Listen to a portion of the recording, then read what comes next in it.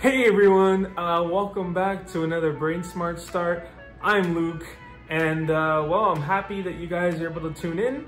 Um, I know that you guys had a blast on Tuesday, so I'm really happy that uh, you guys are able to do that and to celebrate with us Cinco de Mayo, right? Um, but now uh, we're back in class, uh, virtual class that is, and so uh, let's just continue going. So let's go ahead and get started with Brain Smart Start. So I hope you guys enjoy this little clip of me singing animated, right? Um, but uh, yeah, here it is.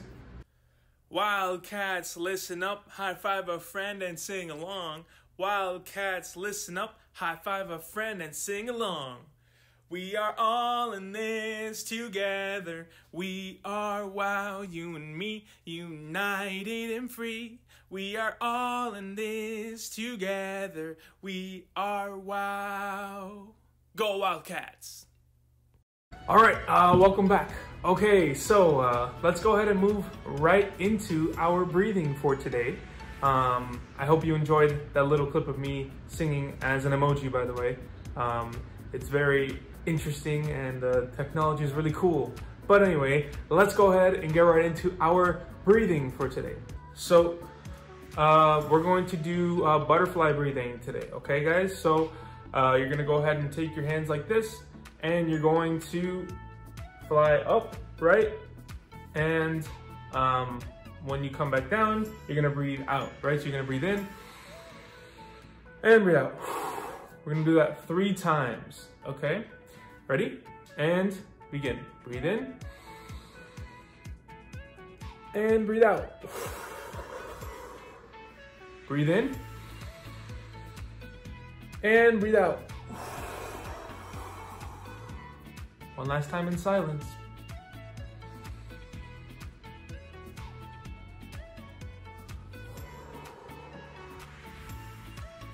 Good job, everybody. Uh, okay, guys, so let's go ahead and move into our stretching for today, okay? So uh, we're gonna do um, just a few stretches. We're not gonna do too many, right? We're gonna do just basically upper body, and then you can do legs at home if you want. Um, if you wanna pause it and do your leg stretches, you can. Um, but let's go ahead and do them, okay? So we're gonna do a traditional right arm over, and you're going to stretch it out, right? And 10 seconds. Ready, and go. One, two, three, four, five, six, seven, eight, nine, ten. Very good. Okay, now we're gonna do the other side. 10 seconds and go. One, two, three, four, five, six, seven, eight, nine, ten. Very good job. Okay. Now we're gonna do right arm back, right? Ready? You can do this 10 seconds. And go. One, two, three, four, five, six, seven, eight, nine, ten. Good job. Now the other side. One, two, three, four, five, six, seven, eight, nine, ten. Very good. Now we're gonna do our necks. Actually, let's go ahead and do our arms. Ready? So we're gonna stretch it like this, and then, um, yeah, we're gonna do 15 seconds. Don't do too hard because you'll hurt yourself, okay? And go. One, two, three, four, five, six, seven, eight, nine, 10, 11, 12, 13, 14, 15, 16. Extra number, just in case you want a little extra stretch. Do that sometimes. Ready? And one, two, three, four, five, six, seven, eight, nine, 10, 11, 12, 13, 14, 15, 16. Okay, now let's go ahead and do the other one. Ready? And one, two, three, four, five, six, seven, eight, nine, 10, 11, 12, 13, 14, 15, 16. I guess we're just doing 16 now. All right, ready? And one, two, three, four, five, six, seven, eight, nine, 10, 11, 12, 13, 14, 15, 16. All right, good job. Thanks for doing that extra one if you did. If not, it's okay. Um, anyway, let's continue on. So we're gonna do our next now, okay? So you're going to, um, we're gonna stretch right and left, okay? So let's go. Right side 10 seconds, left side 10 seconds. And uh, then we're gonna do our rotations for 10 seconds. And then, um, and then we can be done, okay? All right, so uh, right side, ready and go. One, two, three, four, five, six, seven, eight, nine, 10, 11, 12, 13, 14, 15. All right, next side, 15 seconds. I know I said 10, sorry, 15, and then 15. Uh, ready, and go. One, two, three, four, five, six, seven, eight, nine, 10, 11, 12, 13, 14, 15. All right, good job. All right, now we're gonna do our rotations. Ready? We're gonna do 10, actually 10, right? But we're gonna do five one side and then five the other, okay? One, two, three, four, five, and the other side. One, two, three, four, and five. All right.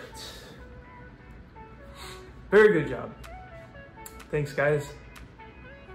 Okay, so as you guys know, uh, Mother's Day is coming up. Okay, so um, in ASL for this week, we're not gonna do a lot of words just because uh, it's been pretty crazy this week, so we're not gonna start words today. Um, but, but I will remind you how to say mom and I love you in sign language. So you wanted to sign mom, you would take your hand like this, make sure your thumb is pointing out like that, and you're going to touch here like this, mom, mom right? And then grandma, if you wanted to know, is mom, but she you kind of take like a step. So mom, mom, mom. I'm sorry, grandma, grandma. This is mom. This is grandma. Okay. All right.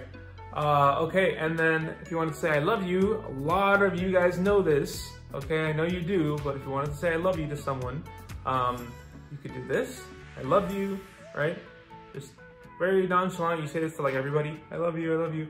But if you want to say you love your mom, um, then you would cross your arms like this and you'd say, I love you, right? That's like a really intimate love, like you really love your mom, um, or someone who is like a mom to you, right? You could say that to them. So, mom, love you right? Or I love you. Okay, very good. I hope you guys practice that and uh, make sure you use it on Sunday, okay? So there are no uh, birthdays for today, but let's go ahead and sing all those people who might have birthdays today. Um, happy birthday, right? Um, so if you know somebody who's, uh, you know, friend or brother, sister, mom, dad, grandma, grandpa has a birthday today, um, go ahead and sing along with us, okay? All right, ready? On three. One, two, three. Happy birthday to you. Hey, happy birthday to you. Hey, happy birthday, dear everybody whose birthday it is today. Happy birthday to you. All right. Uh, I hope if you had a birthday today, you were watching. If not, tell somebody happy birthday that you know their birthday is today, okay? Okay, so our commitment for this week is to uh, wish all the moms in the world well, okay? Um, like we said earlier, um, Sunday is Mother's Day, okay? So uh, that means you're gonna have to wish some mothers well, if not um, your own, but maybe someone else's, right? Um, and so just make sure to keep them in mind and wish your moms well, okay? So we're gonna wish them all well right now. And also you can wish well whoever you want in your head or, or in your own house. Um, but we're gonna wish all the moms well, okay? All right, ready guys? On three. One, two, three. We wish you well. And like we do in silver, throw it up. Throw all the bad energy away, right? Throw it up, all right? Uh, so I hope you guys uh, have done that and uh, just make sure to keep your moms in mind and uh, make sure that you remember that Sunday is Mother's Day, right? And uh, just uh, for your information, it doesn't have to be your mom. If your mom isn't here um, or you don't have any way to communicate with your mom, just make sure that you're wishing any mom well. And if you know another mom in your life or another mother of some one of your friends or your cousins or uh, anybody else, just make sure that uh, you wish them well, okay guys? All right, so another commitment uh, for this week. I know that we said that our commitment was to wish our moms well, which is technically true. However, our actual commitment, where you put your thumbs up, is for uh, making your or a mother in your life a gift, right? Whether it's you draw them a little note or you make them an arts and crafts uh, thing for for any mom that you know, right? Um, but either way, it will mean a lot to the person you're giving to, I promise. Okay, so go ahead and uh, um, let me know if you're committed over the mic, I mean over the camera, right? If you're committed, thumbs up. I know I can't see you, but you can see me. So thumbs up if you're committed to making uh, a gift for a mother, right? All right, so our current event for this week is uh, that you have, well, you had Cinco de Mayo, right? On Tuesday. Before that, you had Star Wars Day, um, which we still have a little tribute to today later on. Um, but anyway, and then Sunday, like we've been saying, you have Mother's Day, right? So again, just make sure you're wishing all the mothers well. If your mom is not here, again, just make sure that you are wishing um, your, well, you could wish your own mother well, obviously, but uh, if you want to wish somebody else well, uh, wish one of your friends' moms well, or wish like you said, an aunt well or a grandma well or something like that, right? Um, there are lots of mothers in this world and they all need appreciation. So go ahead and, uh, and definitely, um, you know, wish them well, give them a gift like we said earlier, right? All that stuff. So just keep that in mind, okay guys? All right, so now we're gonna move on to our Star Wars themed meditation like we've been doing. Um, I hope that you guys feel relaxed and meditated after this and uh, I'll see you guys in a bit, all right?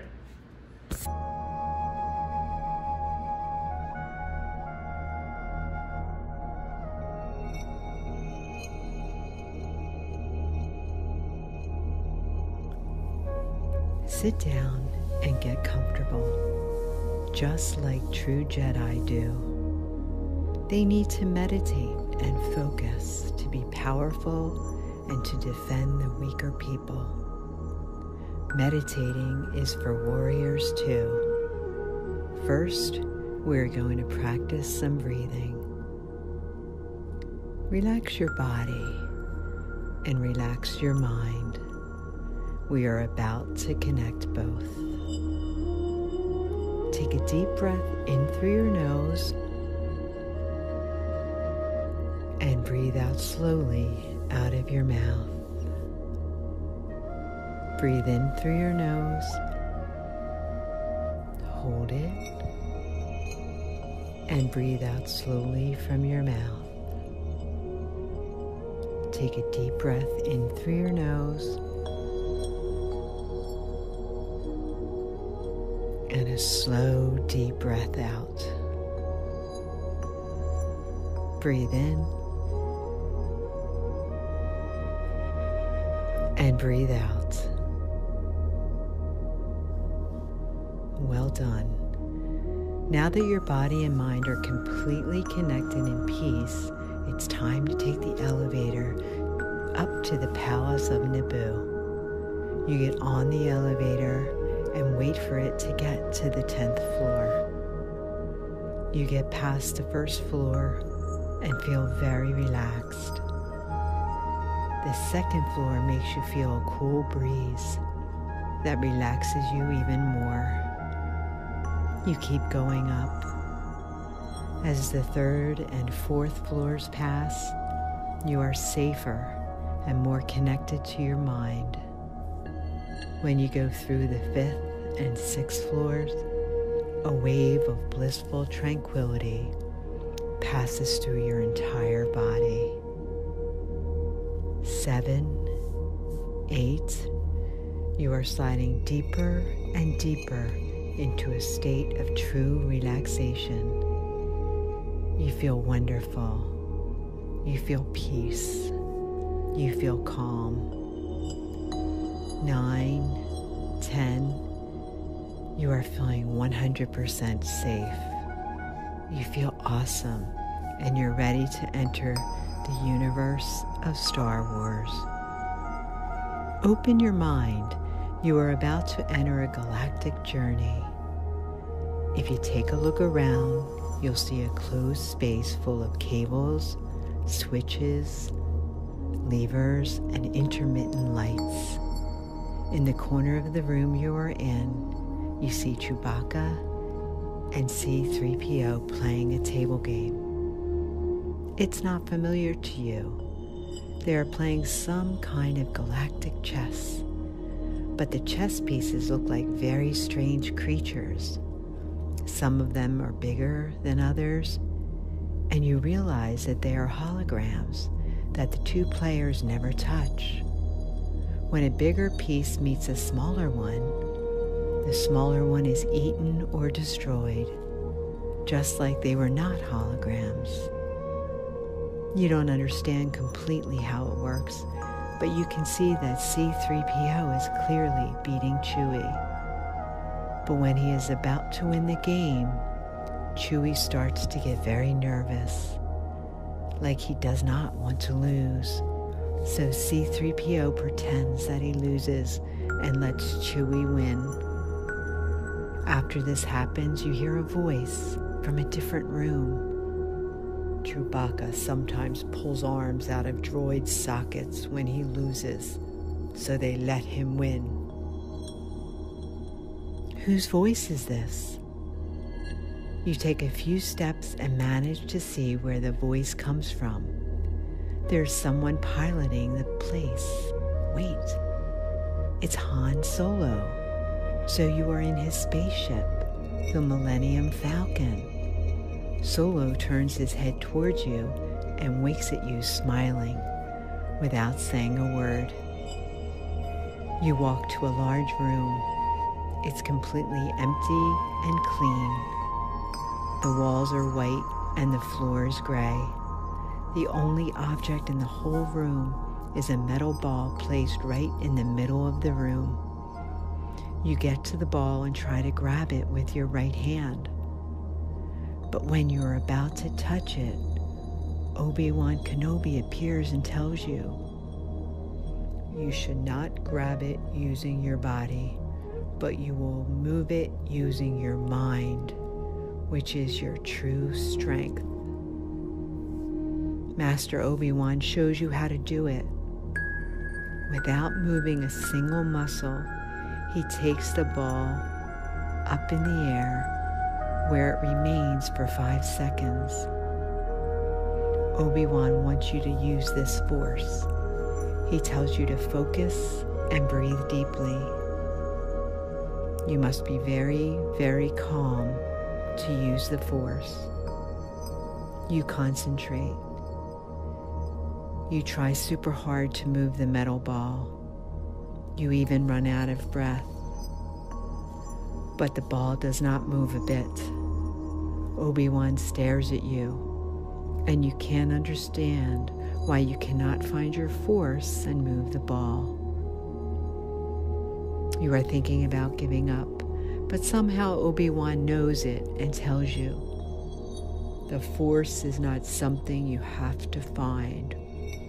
All you have to do is attract it to you. Always keep in mind why you want that force. Remind yourself why you are doing this effort, the reason you train, the reason you concentrate. In order to make force come to you, you need to find your passion. If your passion is honest and makes other people happier, you will be on the light side of the force. Now, what is your passion? You want to use the force. You want to be strong. But why? I promise you that you will find an answer. And when you hold that passion and remind it to you constantly, you will be capable of moving the wall. Remember, young Padawan, there is no ignorance, there is knowledge. There is no sadness, there is love. There is no chaos, there is harmony. May the force be with you. You get out of the large room, you feel super happy. You have learned a very important lesson. Finding a passion is what will make you stronger. You see Princess Leia and ask her about what Kenobi told you. She talks to you in a very relaxed tone. And every word she says makes you more and more relaxed. You see Princess Leia and ask her about what Kenobi told you. She talks to you in a very relaxed tone, and every word she says makes you more and more relaxed. Don't worry too much about finding your passion, kid. Just do what you enjoy doing. Live your life, and someday you'll find it. Since I was a little girl, I loved helping people to avoid harm at all costs. So when I grew up, I found that my goal in life is to assure peace in the galaxy. That is what motivates me to fight against Lord Sidious and the Empire. I advise you not to rush. You will find it. But don't get obsessed, kid. Some people get lost in life looking for their passion they forget that you must enjoy life as well, having fun and doing things you like. In my opinion, not everything is about fighting and being powerful. Listening to Leah makes you happy. She always has something helpful to say. You walk past her after saying goodbye, and you see Obi Wan coming to you. He stops in front of you and says, Hello again, young Padawan. In order to keep healthy and ready for missions, we follow a strict workout routine. Those Jedi who don't work out are always below Jedi who train their body every day. In addition to improving our bodies, we meditate and we read lots of books to stimulate our minds and, of course, to learn new things. People don't usually know it, but being a Jedi takes a lot of effort and time. Well, I should say that being a great Jedi takes a lot of effort and time. If you are still interested in becoming a Jedi, next time you come over here, we will learn how to use the lightsaber to both attack and defend yourself. It's time you leave now we are going to an extremely dangerous mission, and you're not ready yet. Who knows? If you train and come to the Millennium Falcon often, you might be the leader of our next mission. You say goodbye to Obi Wan and walk to the command center, where Han Solo is still piloting the spaceship. You sit next to him. It's time to leave the Falcon and go back home for a while. Hello, kid. Are you ready to jump to light speed? Whenever you want to come back, you know what to do. You have to do it, but you don't want to leave the Millennium Falcon. You have met a lot of new and interesting people there, so Han Solo gives you a microchip. If you ever want to come back here with us, you just have to close your eyes, focus, and you'll be back here with us. The countdown for Speedlight Jump begins. Five, you hear the sound of the engine speeding up. Four, you remember what Obi Wan told you while the sound becomes louder and louder. Three, find your passion and you will be strong. Two, find your passion and the force will come to you. One, you and the Millennium Falcon disappear in the depths of the galaxy. Now it's time to open your eyes. You have just lived a true adventure and made new friends. Will you ever come back to this universe and try to move the metal ball? Until then, may the Force be with you.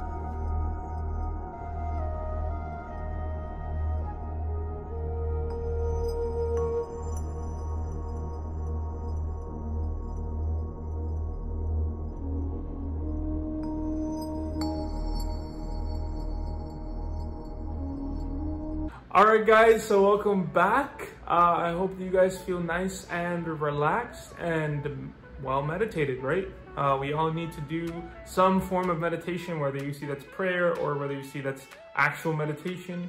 Um, either way, it helps the soul relax and your body as well to relax. If you're anxious, if you're nervous, this is a great way to uh, turn that on its head, right? Meaning that you can not be nervous or anxious anymore if you just uh, maybe try and uh, relax with this meditation, right? So with that being said, uh, let's go ahead and tell you guys the schedule coming up for today, okay?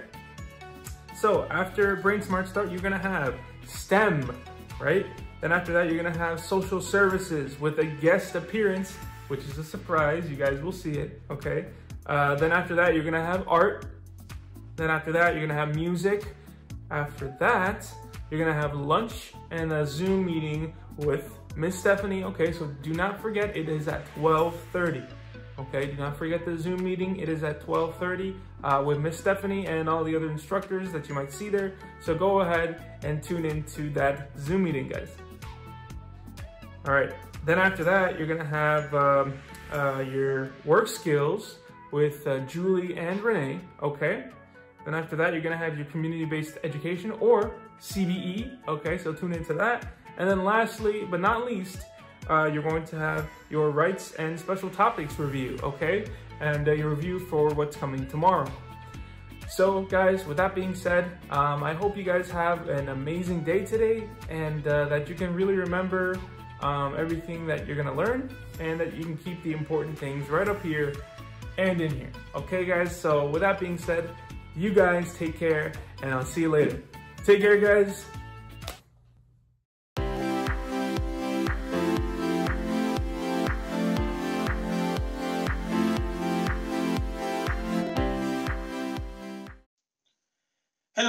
My name is Carlos and do you know what time is it? What time is it?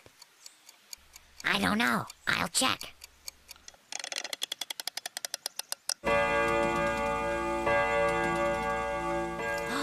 it's spring! Wake up!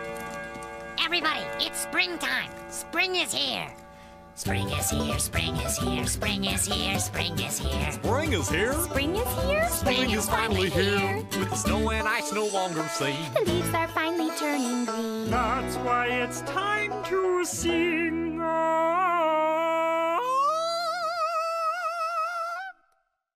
Yes, it's a springtime. We are in the spring season. Well, we've been in the spring for a while now, but today we're gonna learn about it. Spring is an amazing season. A lot of amazing things happen on this time. It's one of the four seasons that we have, and this one comes right after winter, and it's right before summer. But how long is spring? Well, this might change a little bit depending on where in the world you are. But usually, spring extends from March 1st to May 31st, right after the beginning of the summer. Now, a lot of, as I said before, a lot of things happen on this season. You want to know what it is? Well, let's go.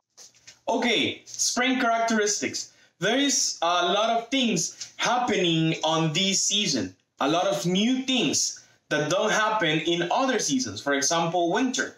A lot of animals go to sleep in winter or fly to another places because it's too cold. But in spring, the weather it's warm enough to bring all this stuff back. And one of the first things that come back are the leaves. Yes, spring brings green growth back to plants and trees. Depending on where you live, trees might begin sporting new leaves as early as mid-March. So you remember how in um, winter, well, not in Florida, but it gets a little colder or super cold depending on where you live, and even you can see snow if you are super north. Well, trees cannot grow new leaves during this period. That's why you can see trees like nothing. But on spring, they have enough nutrients and the weather is perfect for they to grow new leaves.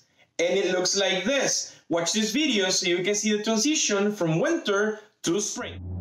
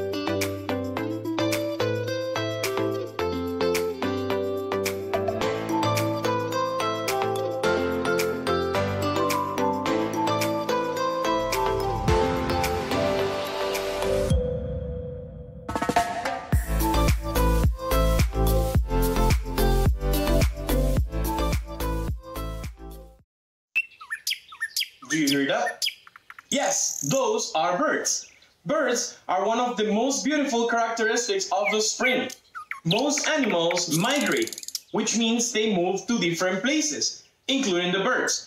And they do that because during winter, the weather is too cold for them. But then uh, they head back north when the temperatures rise up. That's very cool. Uh, for some northern regions, there is no better indicator of spring than birds singing outside your window.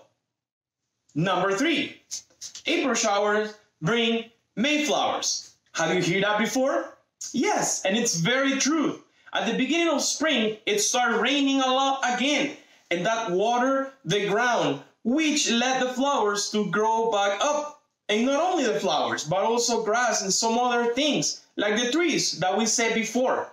And what happened? This is not only make the whole place look beautiful, but also help us because flowers and plants create oxygen, which is what we need to breathe. So this is also good for us. Number four, this one goes more to your parents or whoever do grocery in your house. And it's because during this season, it is easier for you to find fresh products. Yes, during spring, a lot of vegetables and fruits are harvested. Uh, some like asparagus or green peas or lettuce and a lot others, which means that this is a great time for you to get more fruits and vegetables into your diet because they are very fresh and real cool. Number five, there is baby animals everywhere. Yes, many animals reproduce in the spring when temperature is warmer and food is plentiful. During this season, you can find a lot of amazing little animals like baby bunnies or ducklings, or even squirrels and other adorable animals going around because they take advantage of this amazing weather to have some. Number six, it rains a lot. Well, this is actually something that is sharing between two seasons, especially here in Florida. Between spring and summer, it rains almost every day, sometimes. But let's leave summer for another day. Now, spring. When it rains, it rains a lot, and that may, as we said before, that all the things are green to grow up. Trees, vegetables, fruits, and all those things. But how that happen? Do you know how is that it rain? Well, see that video and you can discover even more. When you're thirsty, nothing is better than a nice cool drink of water. Oh, and it looks like my plant could use a drink of water too. Did you ever stop to think about where our water comes from? Sure, when you get a drink of water, it might come from a faucet or a bottle. And I get my flower here water from a watering can. But you know what? The water that comes out of the faucet and the watering can may once have been part of a cloud or a snowflake, or even the ocean. Awesome, right? And it's because of something called the water cycle. Now, a cycle is a set of steps that repeat over and over. When you get to the last step in a cycle, you go back to the beginning and go through the steps again. For example, every year there are four seasons spring, summer, fall, and winter. And when winter's over, it's time for spring again we go back to the beginning of the cycle. In the water cycle, all of the water on Earth goes through a set of steps that repeat over and over. Let's start with a step in our water cycle where we open up our umbrellas. That's right, Squeaks, rain. Rain is water that falls from the sky. Some rainwater soaks into the ground, but a lot of it flows into little creeks and streams and then ends up in rivers, lakes, and eventually the ocean. And then something really interesting happens. Some of this water changes. You might have noticed that after it rains, some water is left on the ground, like in puddles that you can jump in. But what happens to all that water? It seems like it's there one day, but then after a little while, it's gone. Well, that water didn't just disappear. When the sun comes out and the ground gets warm, water can change into a different form. We call this form water vapor. And water vapor is a gas. The air we breathe, it's a bunch of different gases mixed together. And like the gases that make up air, you can't see water vapor gas. When the sun shines on rivers, lakes, and oceans, some of the water changes into water vapor. And then the water vapor goes up high, very high up into the sky. And it gets pretty cold up there. So when the water vapor gets high enough, it starts to get cool. And as water vapor cools down, it changes back into little drops of liquid water. You can actually see water vapor change into water drops right at home. All you need is a mirror or window and your mouth. Put your face close to the mirror or window. Open your mouth nice and wide and breathe out. What happens? The glass gets foggy. That's because there's water vapor in your warm breath. And when the water vapor in your breath touches the cool glass, it changes into teeny tiny droplets. A lot of the droplets together make the glass look cloudy. And up in the sky, a lot of water droplets together make clouds. When there's a lot of water in a cloud, the cloud starts to get darker. White fluffy clouds start to turn gray. And as the clouds get grayer, the water in them gets heavier.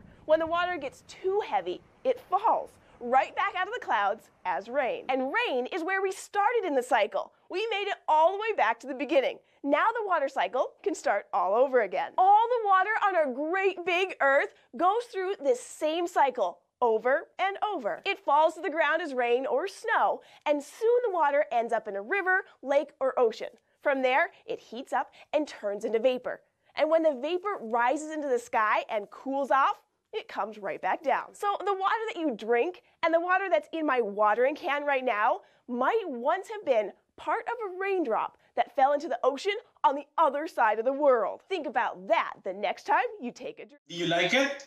It's amazing to know how actually the rain is created. Now, what happens when it rains?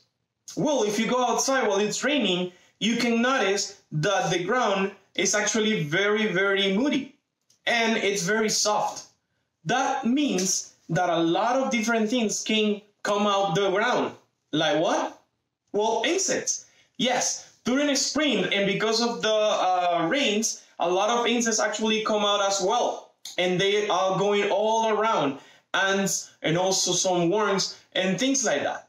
We'll watch this video so we can learn even more looking around the yard to see what kinds of things we can find. And I know of a great place to find lots of cool stuff stuff that you might not otherwise see under rocks. Now, the underside of a rock might not seem like a place where you and I would want to live. It's dark, it's kind of chilly, and it's usually pretty damp. But it's the perfect place to look for insects, spiders, slugs, and other animals for lots of reasons. For one thing, there's lots to eat under there. Rotting leaves, old grass, and other kinds of plants make good food for small animals like insects. And then other creatures, like spiders, eat insects. So there's usually plenty plenty of food to go around. Another reason that life's so good under a rock you and I might like sunshine, but lots of other animals like it dark and damp. The moisture under rocks keeps animals like worms from drying out, and the darkness makes it easier for them to hide from hungry predators. So, if you want to find some cool, creepy crawlies, look no further than your nearest rock. But here are a couple rock flipping tips. First, look for rocks that are in a quiet, out of the way place. You also want them to be kind of big, but not too big, otherwise, you won't be able to turn them over. So, look for rocks that are about the size size of a grown-up shoe. It's also better to look under rocks that have dirt or grass under them instead of cement or other rocks. And be careful when you turn it over. If you're lucky enough to find something under there, you can look at it, but don't touch them. Okay, Ready? Let's see what we can find under this one. Whoa! Look at all the living things! Let's write down what we can see before they all have a chance to run and hide. Okay, the first thing I see are insects. Lots of them. There are lots of kinds of insects that live under rocks, but some of the most common ones are crickets, ants, and beetles. One of my favorite things about insects is that they can change into different forms as they grow up. An insect's life begins as an egg, and sometimes an insect egg hatches into what are called larvae. A caterpillar is a kind of insect larva. Then the larva goes through some really big changes and becomes an adult. Oh, and look, I see some beetle eggs under our rock too. They look a little like rice. And you see those things there? Those things that look like short, squishy worms? Those really aren't worms at all. They're grubs. A grub is a beetle larva. Just like a caterpillar will someday be a moth or a butterfly, this grub will someday be a beetle. And I can see some adult beetles too. I also see some spiders. They look and act kind of like insects, but spiders have eight legs and only two body segments. And spider eggs don't hatch into larvae. They hatch into tiny spiders called spiderlings. Oh, look, there are some slimy looking things stuck to the bottom of the rock. These definitely aren't insects or spiders. They're animals called slugs. A slug looks like a snail without a shell.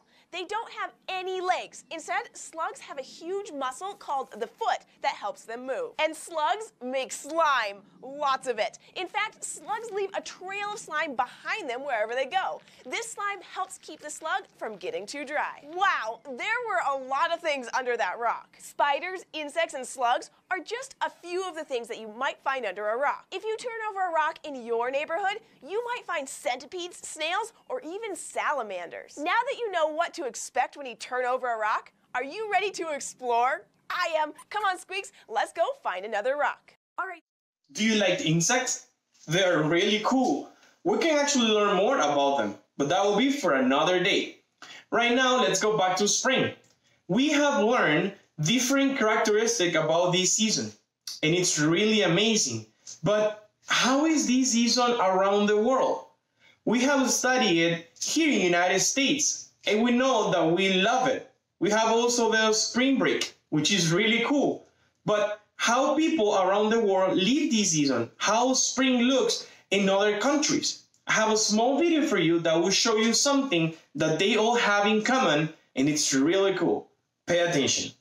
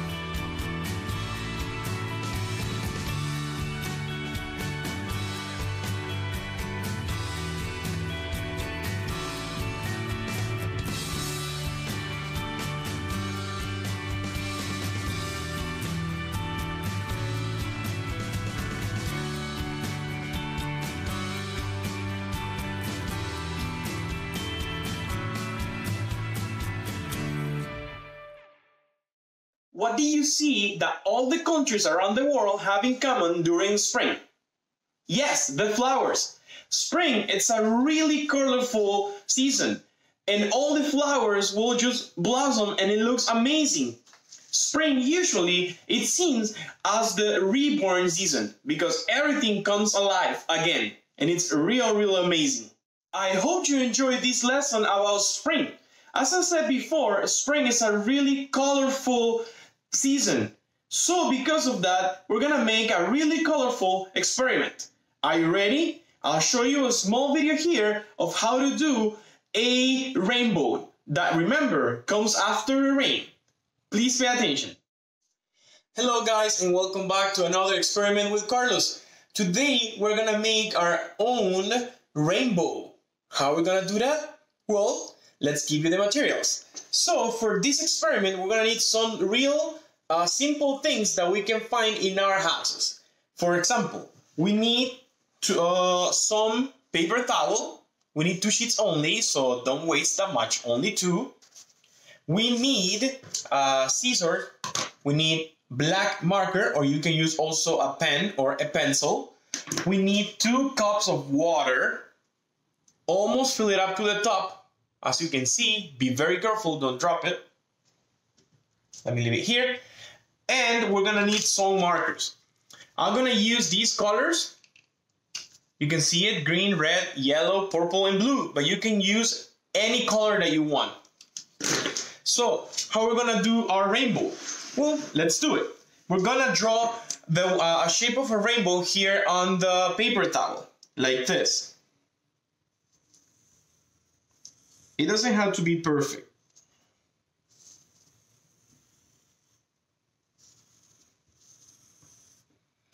And then we're going to cut it using the scissors.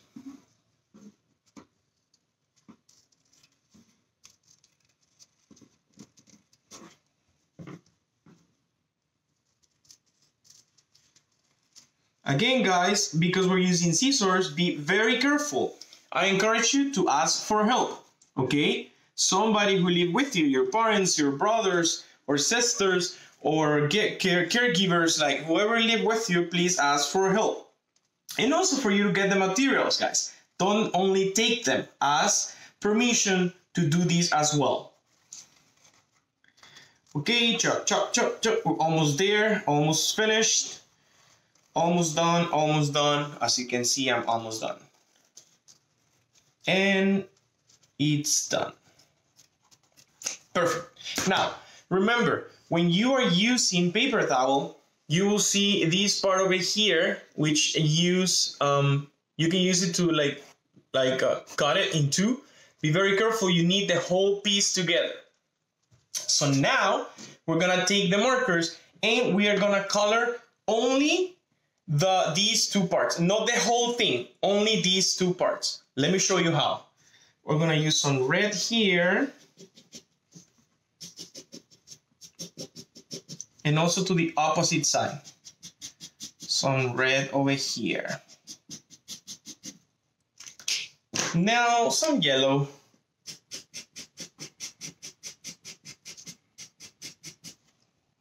And to the opposite side as well. Now some green. Oh, sorry. Now some green.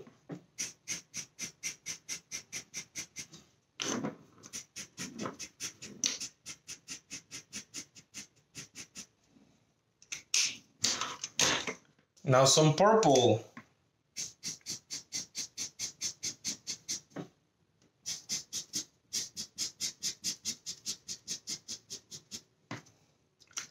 And finally, blue.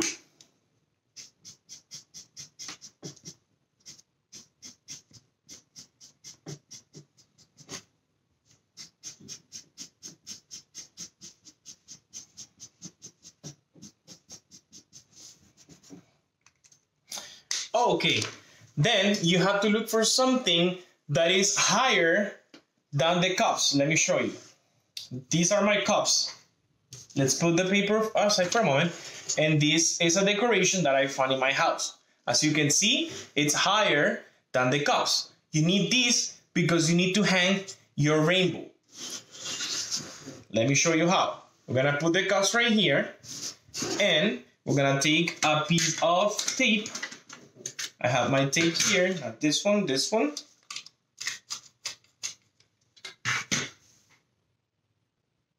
I have my tape over here, so we're gonna take a piece of tape, just a little bit, and we are going to use this decoration to hang our, like this, to hang our rainbow. That's perfect, as you can see. You can see over there, like this. Now, what are we gonna do?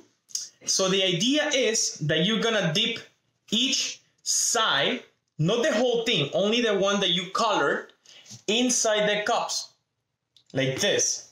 You're gonna dip it inside.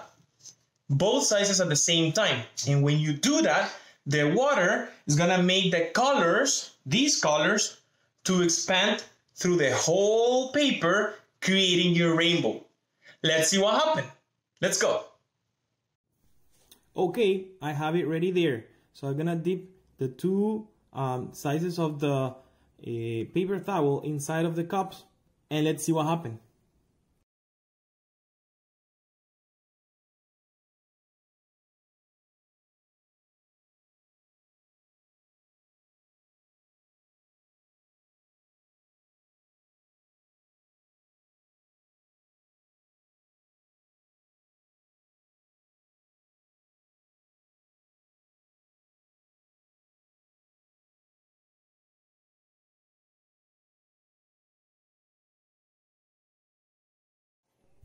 Okay guys, as you can see, our rainbow is actually growing.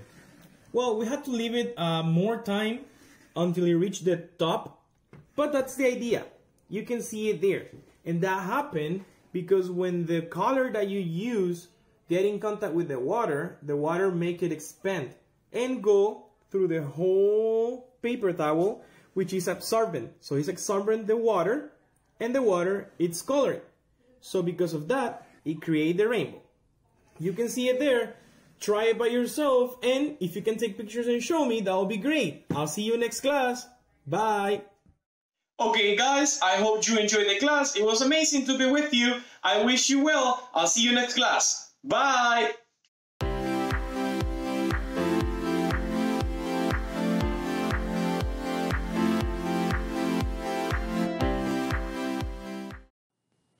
Hey, everybody. It's Reggie here, social worker at the WOW Center. Um, again, I hope all of you are doing well and that this video finds you um, in happiness, in good spirits, and in good health, not only for yourself, but for your family, um, group home staff, your loved ones, and everyone else um, that you have any contact or interaction with. Um, so today I'm going to talk about a very important um, topic for all of us during this time.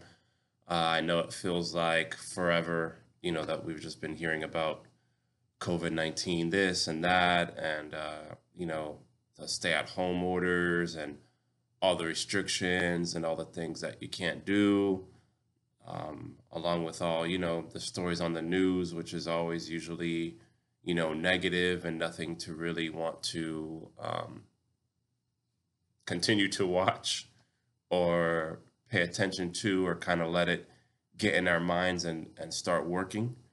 Um, so today, what I'm going to try to do, um, as I've done in the last videos, is um, kind of give you something more positive and uplifting to focus on during this time.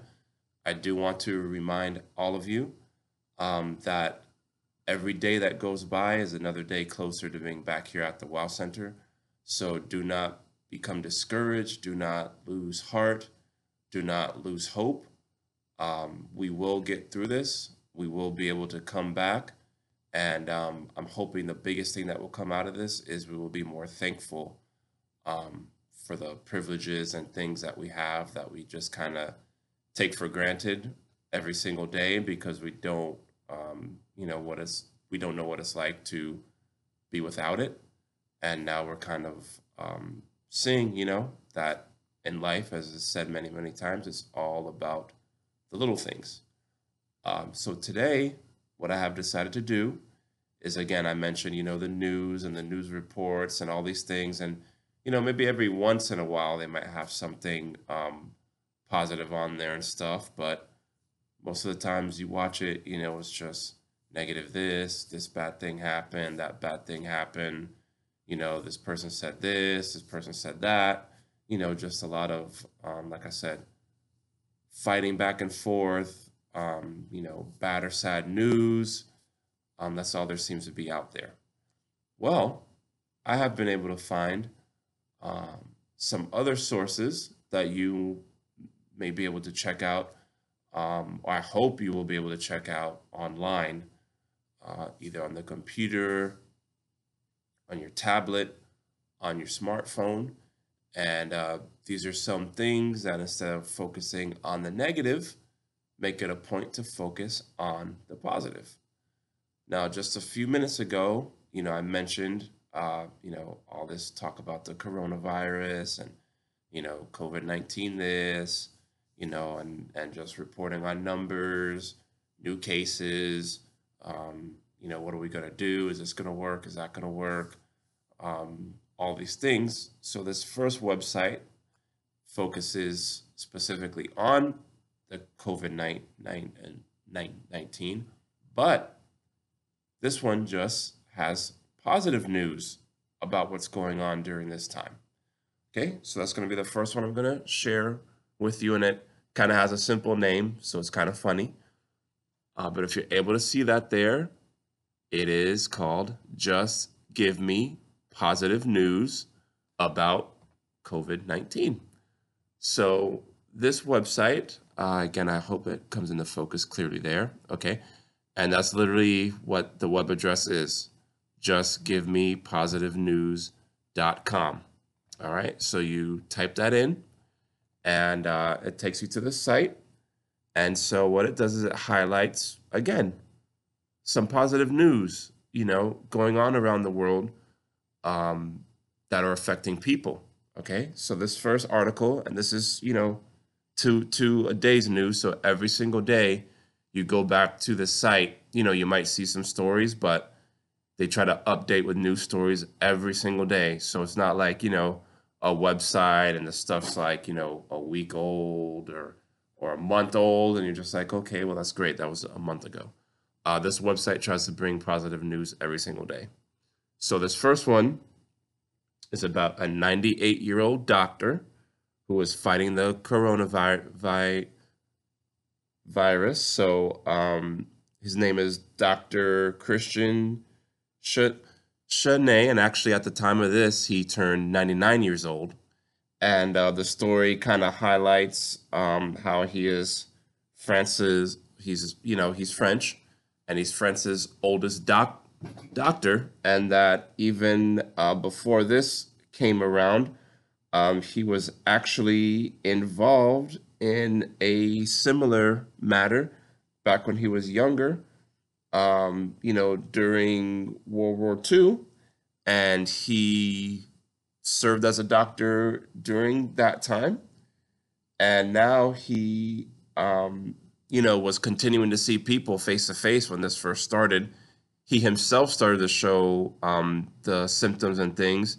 He was diagnosed with the coronavirus. He beat it and then now he's gone back to work um, you know doing things like many of you who might have had doctor's appointments and stuff doing things over the over the phone online stuff like that uh, to continue to help people so it highlights here that um, there was another um, disease called typhus uh, back in his time and that he was one of the doctors on the front line during world war ii and he was able to beat that and now you know fast forward to uh, 2020 and now he is in the same fight against a different um, vi- vi- virus now but he beat it and now he's continuing to help um, so these are you know the kind of news that i think we need during this time instead of all the bad stuff right So, um, you know, that's just one of the artic- art- articles on here. Another one talks about um, some positive news as far as breakthroughs as we search for a um, a vaccine. You know how there's been a big breakthrough in that. Uh, you know, another one on a possible vaccine and people feeling very you know good about it. Um, that soon we will have one and be able to get back uh, you know to the way of life that we're we're used to. And so you know this website just kind of highlights the big the big things that are uh, going on. Just some great positive stories that you can um, check out and read for yourself when you have a moment. All right. And then you can continue to scroll down here. And kind of what's cool about this one is it has a collection from not only this month, but of last month in March. So, um, you know, if you want to just go back and explore some positive things that happened back in March, hey, you're able to do it on this site. And also, um, for those of you who might have family members or relatives or friends who live in different parts of the world, this website actually breaks down to where you can look at the different um, countries and stuff like that and look look up positive news. They also contain things on like the clinical trials for the treatments that they're trying um, out, you know, things in education, different medications. Um, you know, they have the thing like uh, vaccine on here, so you could look at positive news about that. So just a great website that speaks specifically on you know what's going on with this virus and some positive things. Um, like like I said, instead of just you know numbers and new cases and stuff like that, this shows you some great stories of um, things that have come as a result of this or during this time that we can choose to put our minds on instead of all the other stuff that's that's out there. All right. So another website that I found that I thought was pretty cool. Okay. So this one is called positive news us.org Okay, and this website is dedicated to, or as it, it says here, we envision a world in which people treat each other with respect and, and kindness, where we consider the earth to be our home to care for and to enjoy. And we see that this world is in the process of emerging. Positive news is a reflection of this widespread move, movement and tells its powerful stories. Okay. So this is another one that not only focuses on people but on the earth as well and good things that, that you you can do. It also has the option to where you can subscribe. So maybe if you have an email address, um, you can sign up and they'll send you positive news to your email address every single day about good things going on for people and for the world as well. Uh, so the first story on here for today is an ex-coal man, so a man who used to work in the mines, you know, underground, pulling up coal. Um, he has decided that in the Appalachians, which are mountains here, that um, he wants to help to plant 187 million trees on abandoned mines. So in places where he used to work, you know, having to bring up coal and in dirty conditions and dark conditions and stuff like that, since mining isn't as big as it used to be, um, he's decided, hey, let's take these sites that are no longer being used, that nobody really cares about, and let's do something great for the earth, which is plant trees. Um, I don't know if many of you know or not know this or not, but trees play a big part in keeping the air clean and helping us to breathe better and to um, you know take out some of the bad things that are in the air and stuff like that. So um, you know trees are vital to us here. And here's this man who used to work, um, like I said, in the coal mines sees that they're abandoned, nobody cares for them, and is like, hey, let's use this for something good. Let's plant trees on it. Okay. Now, something else, which will kind of be familiar to all of us. Um, this article has check out this rainbow breathing calming exercise. Well, we know a little bit about calming exercises, right? And, um, you know, this is a reminder of something positive that we did here when we were all together and something to look forward to doing again, which is the Brain Smart Start you know, and practicing those calming exercises. Um, so this site, you know, speaks on that, but we already know all about that, right? So, you know, there's some uh, another thing. Um, and then here's some other stories, you know, from different parts of the world, like in Australia, uh, kind of around the time this was starting, that a bunch of wildfires, you know, it hurt a lot of the animals and wildlife over there. Uh, but this talks about um, how this uh, wildlife um, place in Australia saved over 90,000 animals in the fire. And now it's asking, you know, and showing you ways that you can get involved in further helping the animals to get back, you know, out in into the world. Um, it has stories on Germany, um, has a story on Italy, who was, you know, in lockdown too. They had a lot of cases just going out of control, and how people who were in quarantine and stuff like that one day they opened their windows and they all began to just sing, um, you know, to one another, and a whole big song broke out. Again, something very encouraging and uplifting for people, uh, you know, while they wait this thing out. You know, just a beautiful thing, a beautiful moment that took place, even though, you know, the circumstances and stuff are reported as terrible. Um, not in this place. You know, they found a way to turn a negative into a positive.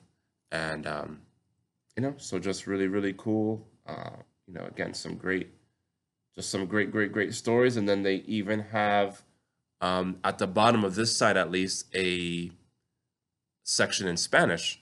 Okay. So of you who Spanish is your first language in your household, you can still go to this site and you scroll down towards the bottom and there is a section right there in Spanish. So, you know, that's another opportunity for many of you to be able to go on again and to find positive news going on into the world and just good things to read about and to put in your mind and um, to uplift yourself during this time.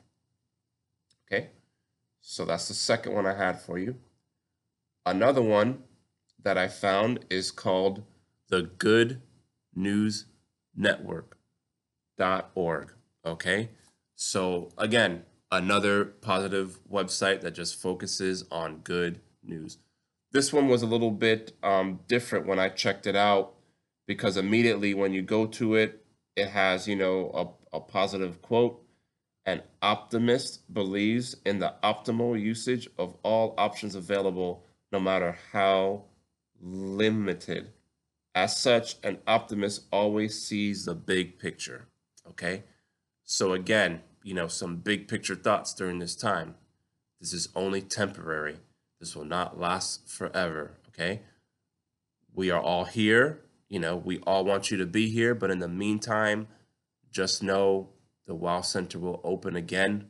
You will be able to come back again. All the classrooms are here, the buildings are here. Um, all the instructors, teachers' aides, everybody else are safe. Okay, you've been able to see a lot of them either showing up to your house to drop off the care packages on the virtual videos. Um, you know, the social services like myself and Lisa and Marta and Lourdes have all done videos to show you that we're okay. Um, you know, Natalia's been in some videos. So, again, looking at the big picture, this is just a moment in time, okay? And this will pass. We will be back, okay? So, just something to go along with that quote.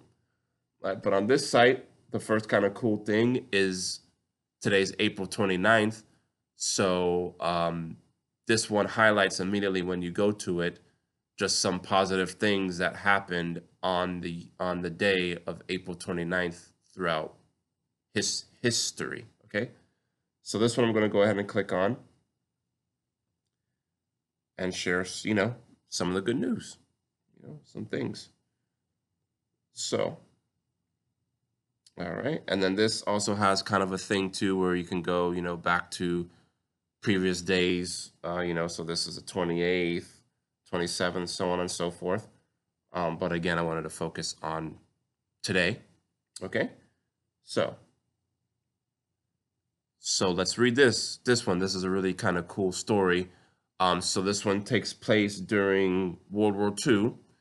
And, um, you know, that was a very big war, a very terrible war that went on for many years and stuff like that. But even during a terrible war time, uh, when we were fighting, you know, against another con- con- country, which um, is mentioned in the article, which was um, Germany. Okay, um, even you know something positive came from them during this time. You know, even though they were fighting to take over the world. So I'll read a, a little bit of it because I just thought this story was really really cool.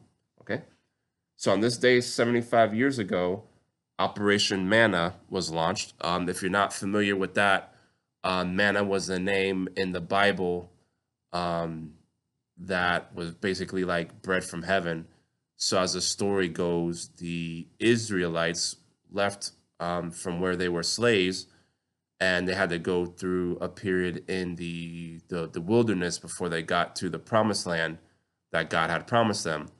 Um, so, in their journey, um, they ran into a problem, and that problem was was that there was not a lot of food in the wilderness to feed everybody. Um, so they cried out to God, and then what happened was every morning while they were still encamped, God sent bread from heaven called manna, and of course, you know anything from God is going to be good. So um, it's just described as unbelievable bread, and it sustained the people during that time. Uh, so here in World War II, they launched something called Operation Manna. Um, so this was actually towards the end of the war. It says um, bomber pilots, you know, which flew planes during the war from Lancaster they dropped 6,680 tons of food. Okay? So from their planes that were usually used for bombs, they dropped food down the people in parts of the Netherlands that had been taken over. Um, 6,680 tons of food. Okay? They dropped it down to feed the starving people that were below during this time. And uh, the other part of it, which I thought was just outstanding, okay, so I mentioned, you know, the Germans um, before I started here, but during this time, these countries were able to get permission from the Germans, you know, who were usually trying to shoot down planes and stuff like that. The Germans gave um, permission to these people to be able to fly over for nine days. Okay, so for nine days, they agreed to not shoot down any of the planes so that they could drop food to the starving people. And it says in total, they allowed during that time about 3,300 flights to go over during this time and that um, American bombers were allowed to fly as well and drop 800, 800 tons of the rations that they gave to the, the soldiers that were fighting. So these were kind of like little packets of food and, and stuff like that. And then it even has like pictures of it and stuff like that. And then below the article, it highlights some more, um, you know, good news or positive things that took place on the 29th, including, I don't know if many of you know about the story of Joan of Arc, um, that she was able to, um, you know, turn around a war that was going on between France and, and, and, Eng- and England. Um, it's also Jerry Seinfeld, which is a famous comedian who used to have his own show here in the United States. He turned 66 to today. Um, you know the wide world of sports for all the sports fans you know that absolutely love sports and are, are, are missing it. Um, the wide world of sports which was a huge show um, it debuted on this day um, back in 1961 all right? And um, you know there was a royal wedding that took place between uh, prince will william and and kate which you know is you know william and kate if you pay attention to that stuff around the world uh, but they were married on this day um, nine years ago. So it was a big deal in in in England. And then also the famous singer Willie Nelson turns 87 um, today, and it includes a little, you know, biography on who he is and the songs that he's played and stuff like that. Also, another um, famous musician, Duke Elling- Ellington, was um, born on this day in 1899, so over 100 years years ago. And it talks about the impact that um, you know he had on music, and it also includes like a little um, you know video that you can watch on some of the music that he made while he was alive. So again, just another you know cool site that you can check out. You know, even if you had a day, uh, if you had a birthday this month, hey, you could come to this site, um, look up your your birthday, and find out some cool stuff that maybe you can talk to your family or, or friends about. Um, you know, and just share some cool things that happened on the day that you were born many many years years uh, uh ago. okay, so uh, the next site I'm going to go to is called Ever Widening Circles.com. Okay. And this one, this website actually has an app. So for those of you who have, you know, smartphones, you can download their app there. And uh, this talks about how it's kind of an online, um, it's online news on a mission to change the negative dialogue about our times. We celebrate the insights, innovations, which are kind of like um, inventions, brand new ideas, uh, different ways of doing things in a more um, positive way, and good news that prove it's still an amazing world. And this one says it's free of ads, which you know sometimes on websites can be annoying where they're trying to sell you stuff or go to this site, go to that site, whatever. This site says there's none of that, and it also says that it um, is free of politics, which you know enough said there. We don't want, even want to go to that place, especially during this time. Okay, so here what you can do is as you scroll through um, it includes different articles in many different um, areas and stuff like that. So the first one is from science, okay? And it says from bunnies to solar sy- systems, the magic of dust. So, you know, what does dust have to do with, you know, the solar system, which we're a part of? Well, here you go. If you're interested in science. All right, there you go. In culture, you know, did you have a good morning? Thank a goat. So, what's that all about? Hey, go to the website and, and find out. Um, but it just talks about, you know, just a different thing and, um, you know, how this is associated with good old coffee, which I know there's a lot of coffee drinkers out there, this guy included. All right. So a cool little article and maybe why sh- we should be thankful for goats when we go and take that sip of coffee.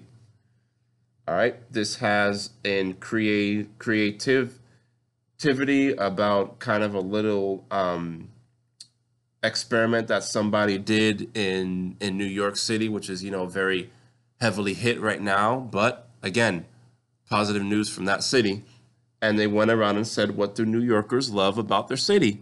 Because sometimes New York, you know, sometimes they don't always have good news coming out of there, and sometimes some negativity and stuff like that. But here were some people who found a good way to put some positivity back into living in one of the most popular cities in the United States, even during, you know, these times that are going on. All right. And they have the innovation, like I said, creativity and stuff like that. So this has a fascinating um, his, history behind some of your favorite movies. So, you know, what are some things in some of your favorite movies that you might have seen that you didn't know about from just watching the movie? You know, here's an article on that. All right. And then they have other things, you know, you can dive deep deeper to explore even more this amazing world. So it covers things about, you know, wild wildlife, why animals may end up on your street, you know, so what's going on with that? There have been many stories already um, that I've seen to where you know, wildlife and different national parks and stuff like that. Now that there's no people around, um, you know, they're coming out more. They're really enjoying the land as they were meant to, you know, without traffic and and people getting out of their cars and and taking pictures and stuff like this. Um, different things are going on in many of the zoos um, around and stuff like that that are just like amazing that people just can't um, believe or uh, you know had never seen before with the, the few zookeepers and stuff that go in they're just finding, you know, animal behavior and stuff like that that is just non-existent when, you know, everybody's there every day, um, you know, making noise, again, taking pictures and stuff like that. So, you know, these are this is just another great site with with you know which um, has many things like i said from just different areas um, you know that are specific in nature creativity science um, you know stuff like that. So another great one to to check out. All right and now this will bring me to uh, the last site i want to share with you today which is called the positive report.com and this one it was a little bit um, simpler than the other ones. You know you saw a lot of like big time graphics and and stuff like that this one kind of has like a simple look to it but cool thing about this one that the other ones don't have is they have something called a kindness challenge okay so you can see today's date there you know it says the current challenge um you know again april 29th 2020 and this one today, they're posting a kindness challenge. And it says, leave thank you notes for people still serving. Okay. And it gives the examples of mail carriers, store cl- clerks, and healthcare work workers who are still going out and making sure things are good for those of us who might not work in that place, um, but want to make sure you know that we're safe if we go to any of those places you know um, and that will be taken care of if anything is going on with us so today's challenge if you want to accept it for today is to leave a thank you note. So you can leave a thank you note in your your mailbox. You know if you're not able to go anywhere else leave a note in you know in the box you know saying thanks. Um for the mail person to come in and and and, and pick up. We have um, a person next living next door to us who works in um, as part of the beach res- rescue um, for Miami-Dade County. We recently, you know, wrote him a a a thank you note. You know, so maybe there's somebody living next to you, somebody in your neighborhood, maybe even somebody in your your family or your group home you know, your group home staff, again, you know, now they're in the group home making sure that those of you who live there are still being taken care of and provided for. Maybe you want to write them a thank you note today. Um, maybe some of you want to just write your parents a thank you note today, saying thank you, you know?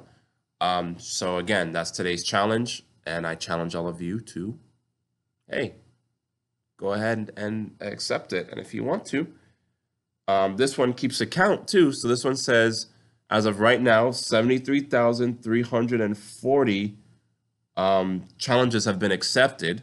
And what you can do is you can put your name if you want, your email address if you want, and your your zip code. You know, so your name is something. If you don't want to do it, the website says that's fine.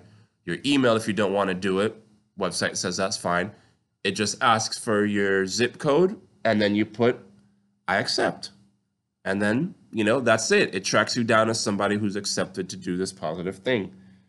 All right. And so um, through there, if you go through there, they have accept past ones that they've done.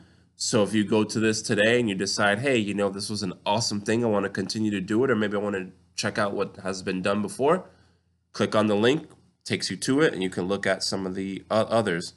And then on this, um, as you go on, it just has, like I said, maybe not as many, but some more um, positive news stories that you can read, you know. Um, so this one says a family and dog that saved them reunite 54 days after a tornado. So apparently there was a tornado and this family got separated from their dog. They were able to find each other again. Wonderful story.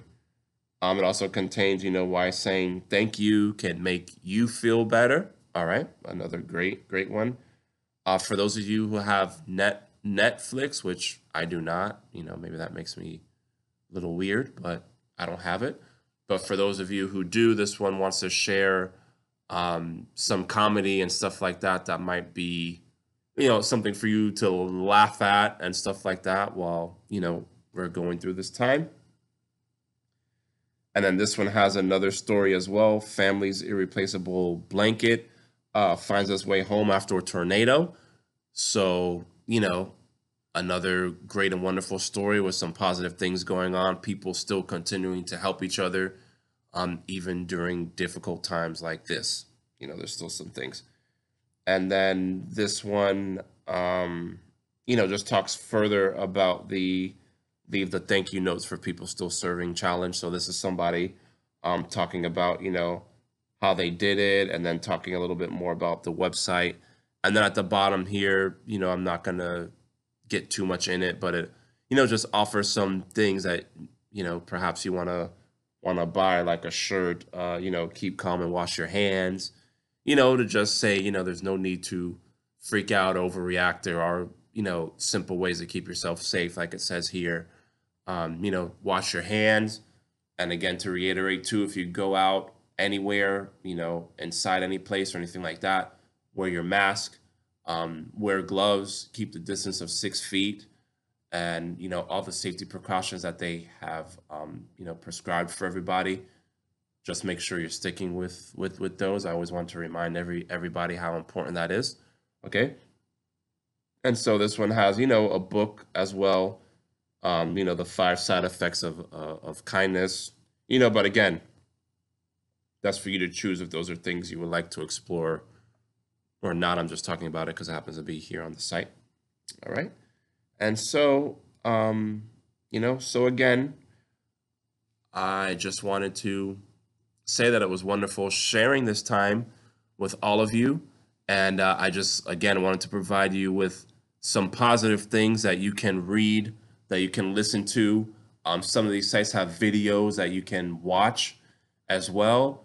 And um, to just reiterate, you know, it might be time to just take a break from the news for a while, you know, because you already know what to expect from that. But, you know, through again the use of technology, which is making it possible for me to speak to all of you to to a day, um, you can find some websites like the one I just shared that just shares positive stuff, you know, and it can help you to feel better about things, maybe not only in your house, but around the world um, today that often get overlooked or replaced with just, you know, the negative stuff and things like that.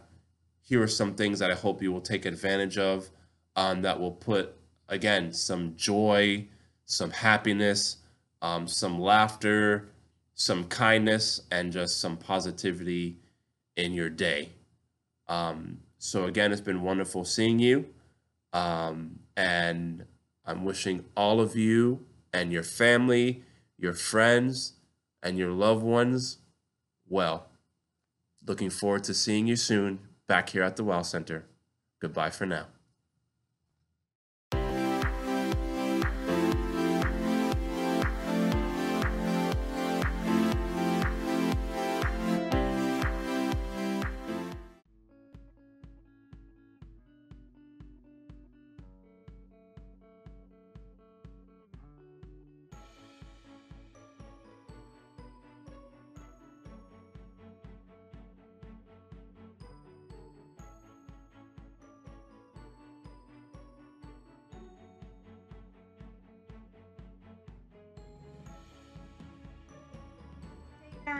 Guys, here with another virtual art lesson for you guys. I hope that you guys had the best time at our drive-by Cinco de Mayo party. I know I did. I love seeing your faces and um, seeing you guys from afar. Um, so we're going to continue on with our lessons on Cinco de Mayo. Even though the holiday has passed, we're going to continue with our theme for the week. Okay, today is Thursday. That means it is Craft Thursday. So we're going to go ahead and make our very own donkey pinatas. Alright, so go ahead and watch our next video. It's gonna show us how to make a pinata and then I will go with you guys step by step on how to create our own. Okay, and I almost forgot before we get started, let's get some stretching in to get those creative juices flowing. Alright, so go ahead and stretch to your left, stretch to your right, stretch up, down, up, down, one more big one up, and down. Give yourself a big hug, squeeze. Take a deep breath in and relax. Way to go, guys. So stay tuned, watch that video, and then we'll meet right back here.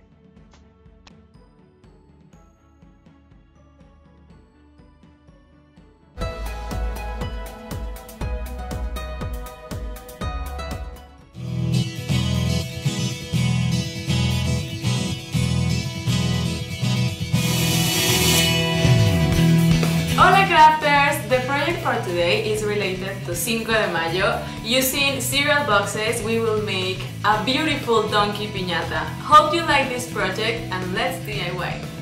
You need these supplies a cereal box, pencil, ruler, scissors, glue, tape, and tissue paper. Make two donkeys in the cereal box. You can use the free printables from craftinggeek.me. Then, draw two strips of 5 centimeters by the length of the box. Cut everything. And put the strip in the middle of the two donkeys. Paste it with masking tape to the outline of the two donkey shapes. The tip here is to paste one of the sides, then the other. Another useful tip is to paste from the inside. Then go back to paste the other side. As you paste, this will become much easier. And the donkey will start taking shape. Now make a hole in the back of the donkey to place candies inside. And if you want to hang it, then make a hole near the ears with a punch or a cutter. If you want your piñata to be more resistant, add a layer of newspaper with glue and water. For the decoration, make long strips of tissue paper with vertical cuts. And dress the donkey with many colors. I suggest pasting strip by strip, it's easier. And the piñata is finished. You can put candy inside, hang it and have fun. También recuerda visitar el sitio web www.craftinggeek.me.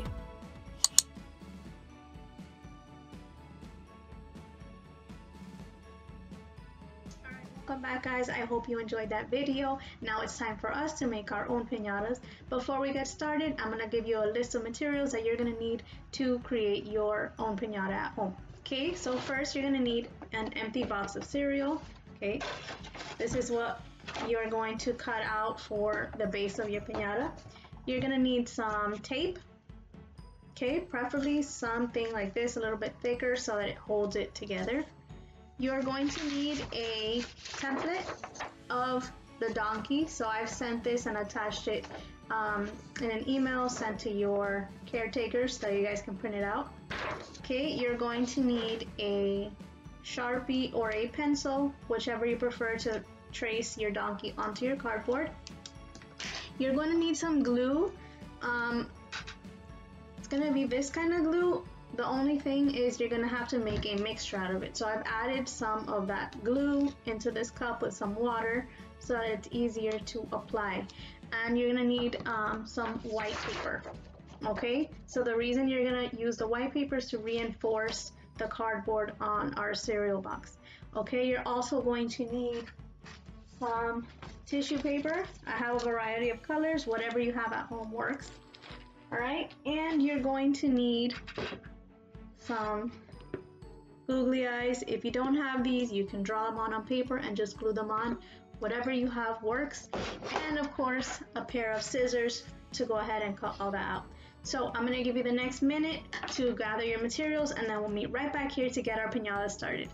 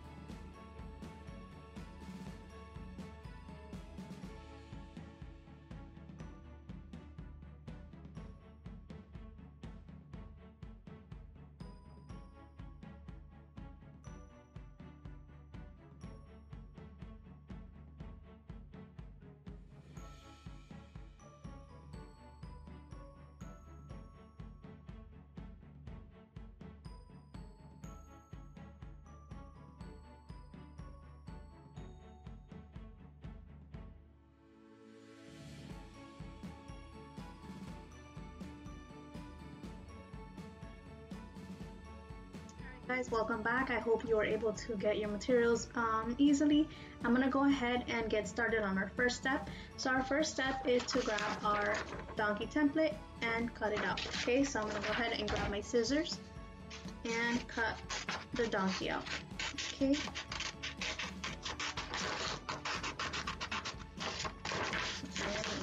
All the way around.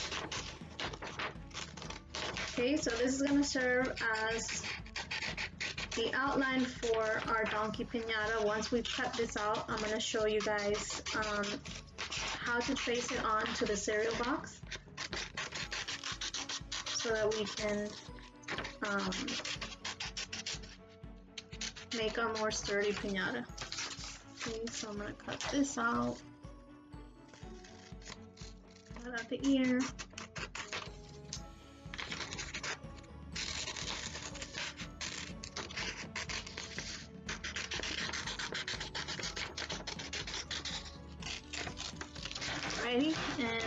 Have it. Here is the outline of my donkey. Okay, I'm gonna put this to the side for a minute, and now I'm gonna go ahead and start um, cutting out my box. Alright, so I'm gonna go ahead and start on the corners, just because it's gonna be easier um, for us to trace our template onto a um, large surface area, okay? So I'm gonna go into the corners of the box. I've cut one. I'm gonna cut on the other side. And then of course the bottom. So that we have a totally free um, open space. Okay, it might get a little bit hard. The cardboard is um, pretty sturdy. So if you have a bigger pair of scissors, that would be great. I only have this one right here with me at the moment. Okay, so I'm just gonna go ahead and use this one. I've cut both sides and now I'm gonna cut the bottom. And then I'll show you what I'm talking about um, for the free surface um, area. Okay, I'm gonna cut it, almost done. Okay. So here is the large part of um, the box. Flat surface, I'm gonna go ahead and grab my outline I'm gonna place it on to my cardboard box so that it fits. Okay, just like this. Okay, and I'm gonna grab my Sharpie and I'm gonna trace it.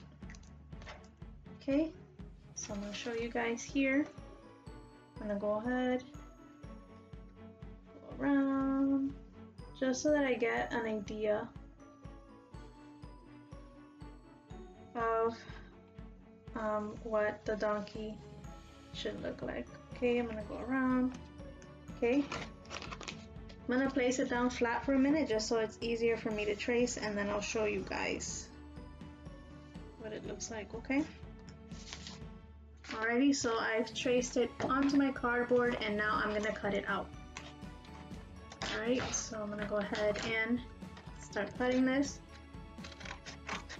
Okay, and I'm gonna repeat this process for the other side. Remember the pinata has two sides, so we're gonna go ahead and repeat this step. I'm gonna give you guys um, about a minute or two to go ahead and do this on your own. And it's okay if you don't finish. Remember at the end of um, our demos, I always give you guys some extra time to complete whatever you haven't completed. So don't feel rushed. I'm just showing you guys um, step by step how to do it. You can do it along with me, and if you don't finish uh, within the time allotted, you always have some extra time at the end to finish it up. Okay, so I'm gonna go ahead and cut the donkey out, and then I'll show you guys what it looks like. Okay. And perfect. Okay. So I've cut my donkey out of my cardboard. I'm gonna go ahead and repeat that process. Remember again, we're gonna cut out the big surface area, trace a donkey, and cut it out. All right, so I'm gonna give you about a minute or two to do that, and then we'll meet right back here.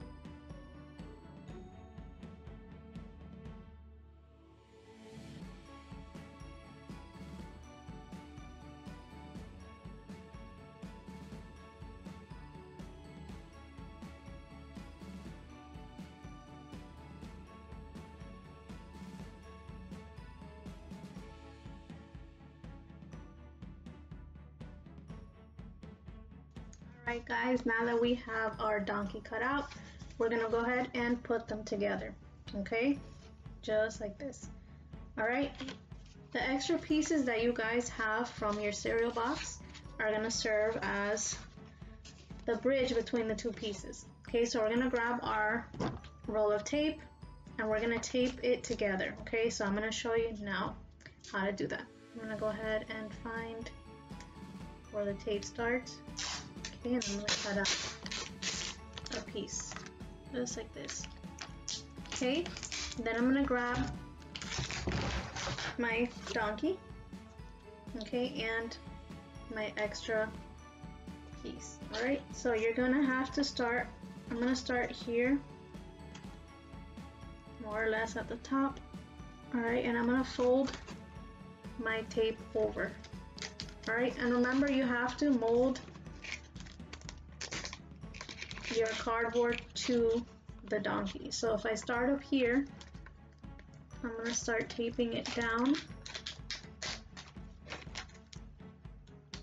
right here.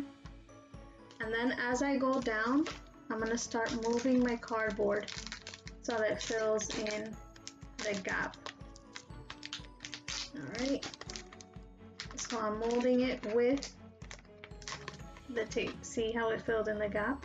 So I'm gonna go around the whole donkey and complete it and then do the same thing on the other side. Alright, this might take a little bit of time, so I'm gonna give you guys about um, two minutes to go ahead and wrap your donkey with tape. Alright, so I'll see you guys soon.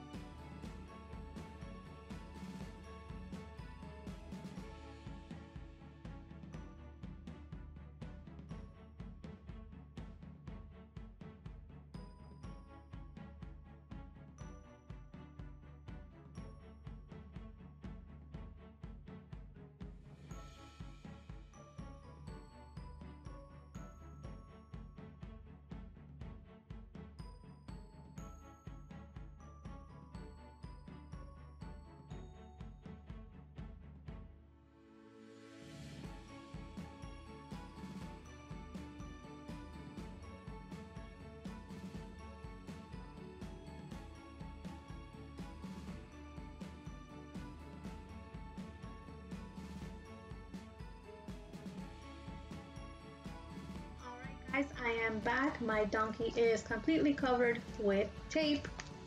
Alright, so this cardboard is pretty strong actually. It's um, a lot sturdier than um, other cereal boxes I've used. So I'm not going to cover it in um, the white paper as, as I planned to do earlier.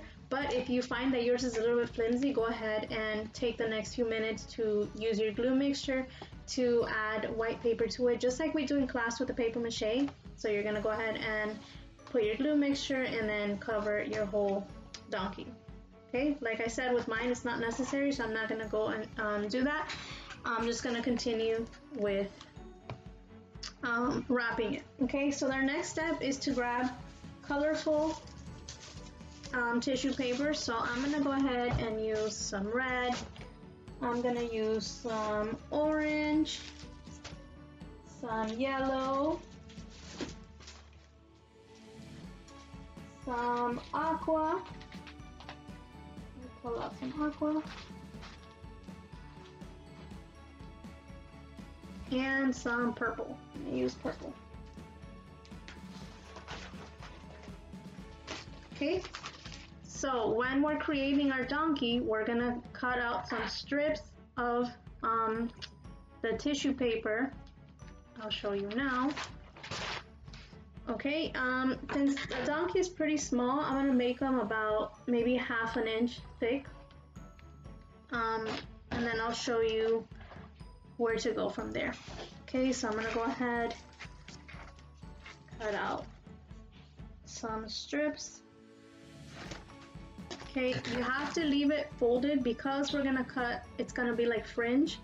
So make sure that you fold your um, tissue paper before cutting it. Okay, so I'm going to show you now. It's folded here, so I'm going to cut my strip over here. Alright, so I'm going to go ahead and cut my strip.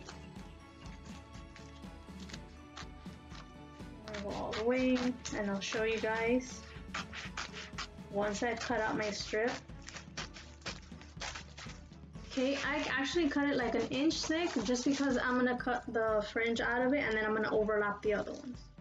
Alright, so here's my strip. Now I'm gonna go ahead and grab my scissors and cut. Do not cut all the way up, otherwise you're gonna cut straight through and then you're not gonna be able to use it. Okay, so cut about three quarters of the way up and you can do them fairly close to each other so you get a nice um, fringe effect. Alright, so I'm gonna do that. Cut. You go all the way down your strip. Keep cutting, and then I'll show you guys what it looks like. It's gonna give you a nice texture on your pinata. Alrighty, so here you can see fringe. Alright, so I'm gonna go ahead and take out a strip and I'm gonna go ahead and use this as the first layer on my donkey. Alright, so you're gonna go ahead and measure it here Alright, you can wrap all the way around or you can do it in sections. I'm gonna do it in sections just because I like um, having a little bit of precision when I add my strips. Alright, so my first strip is gonna go here. I'm gonna add some glue to my box. Alright, for the first layer, since it's gonna go directly on the cardboard, I'm gonna go ahead and use this glue. Um, I would actually recommend using a glue gun. Um, I don't have mine plugged in right now, um, so I'm going to be using this glue. And if you are using the glue gun, make sure again that someone is helping you out. You don't want to burn yourself. Um, but this glue works um, just as well. So I'm going to go ahead, here's my glue, and I'm going to glue on my fringe. Alright, so there's the first layer of my pinata. I'm gonna go ahead and do the same thing with a different color so that you can see um, how the layering process works and then I'll give you guys a few minutes of um, independent work so you can go ahead and um, color, cut, cut excuse me, some layers of your own. Alright, so I'm just gonna go ahead and grab one sheet of the yellow and I'm gonna fold it again. Make sure that it is folded so that you get um, the right um, shape for your donkey. Okay if you don't fold it it's just gonna fall apart. So make sure that you are folding it. Alright I'm gonna go ahead and cut again like an inch strip. And then cut the fringe um, about three quarters of the way up. Okay, about an inch, cutting the fringe about three quarters of the way up. And then I'm gonna go ahead and layer this one on top of the purple. Okay, and we're gonna repeat this process several times until our donkey is completely covered. So I'm gonna show you how to layer it on. Cut another strip here. Alright, so this particular strip is gonna go right on top of this one. Okay, and again, I'm gonna put it up here and then I'm gonna measure it for precision. So I'm gonna cut it just right here. Cut it and then I'm gonna glue it directly on to the purple. Okay, so I'm gonna go ahead and put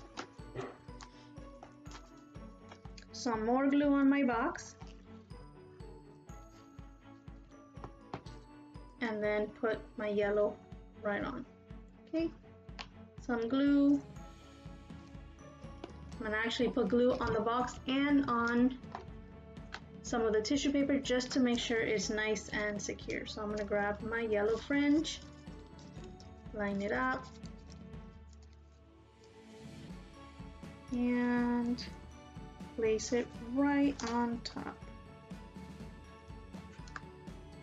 Okay, so right now, this is what it should look like. You have your two layers and you're gonna continue this method until you fill your donkey. Okay, remember, do both sides and in between. So this part in between, you don't necessarily have to do the fringe. Um, I'm gonna do it just because I like the way it looks and your fringe is gonna come down, not to the sides. Or you can just grab a strip of tissue paper and cover it. Your choice, completely up to you. Okay, so I'm gonna give you guys a few minutes to go ahead and do that and then I'll come right back um, to add our finishing touches to our donkey.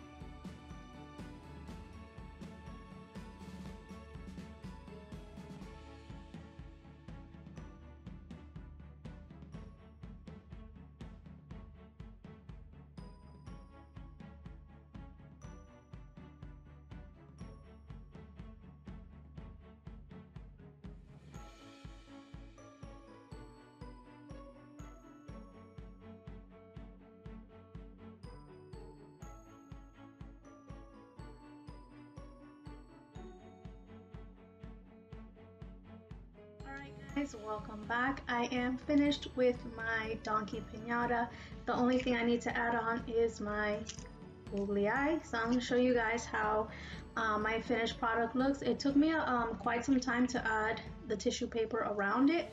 Um, so make sure you take um, the next 10 minutes after our video to complete your donkey. So here it is. Here is my donkey piñata last step I'm going to do is to add on my eye. So I'm going to grab some glue.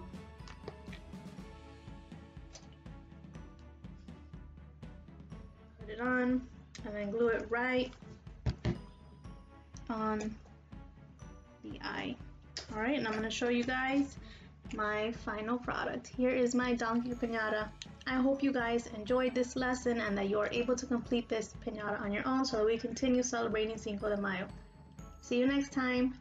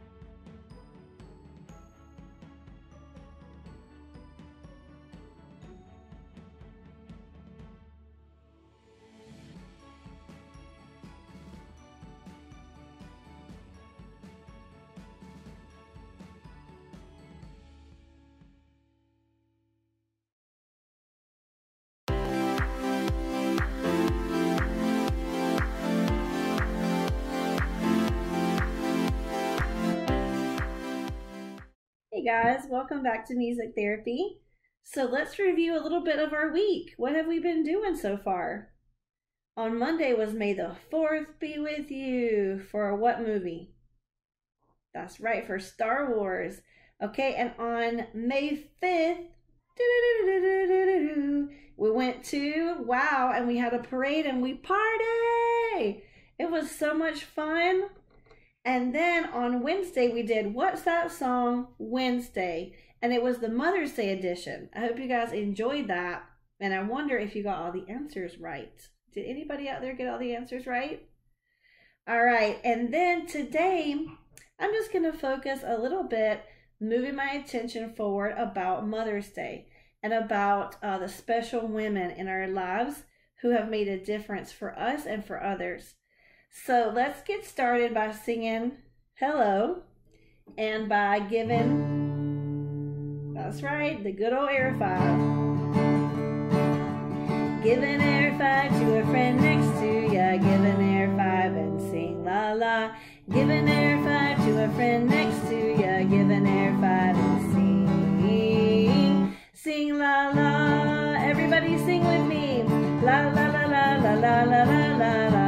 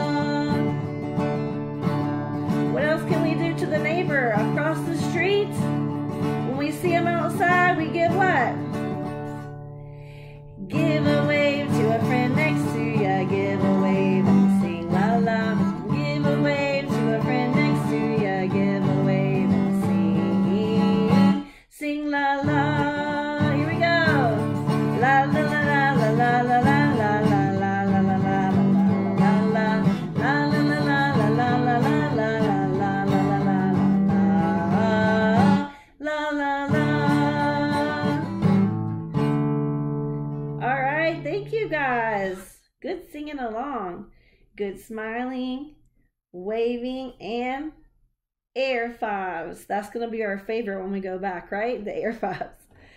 Um, I'm gonna put my guitar down because I want to just show you something.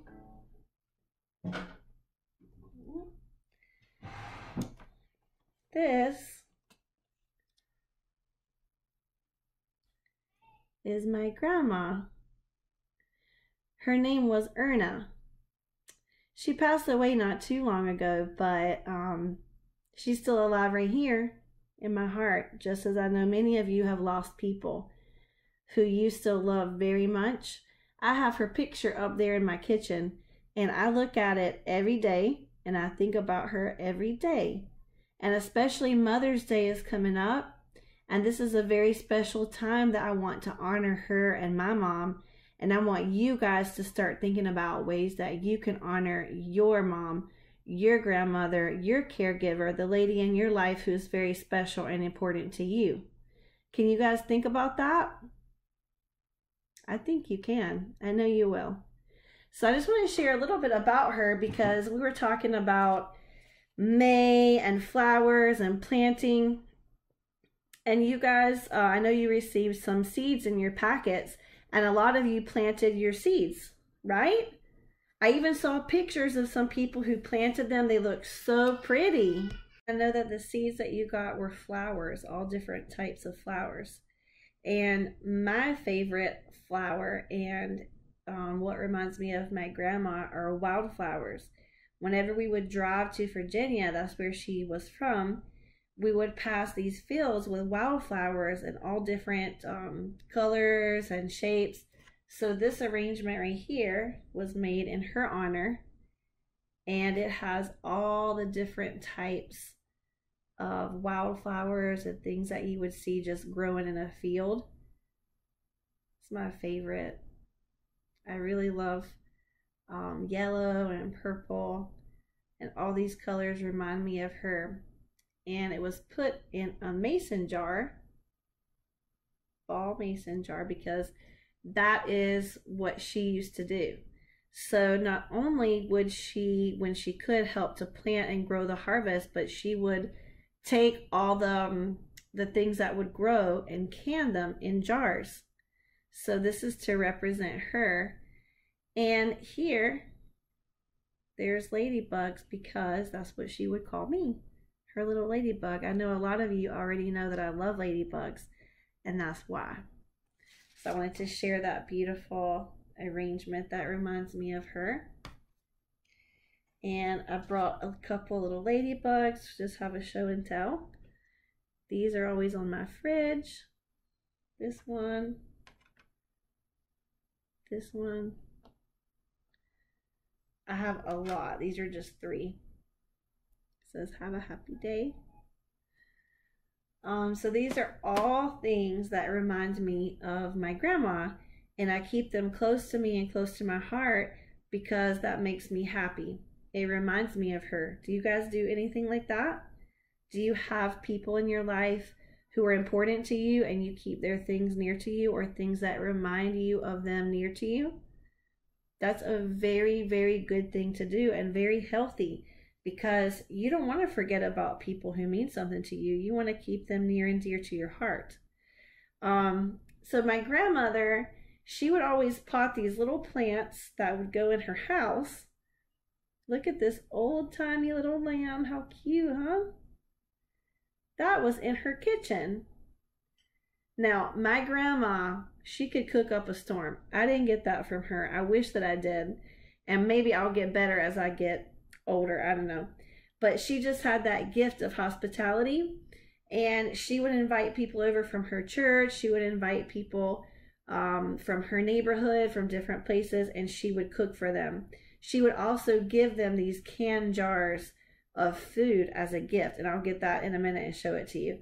But her kitchen was her sacred place. So that's where she had this. You see the little plants. Now, I am also not good at growing plants.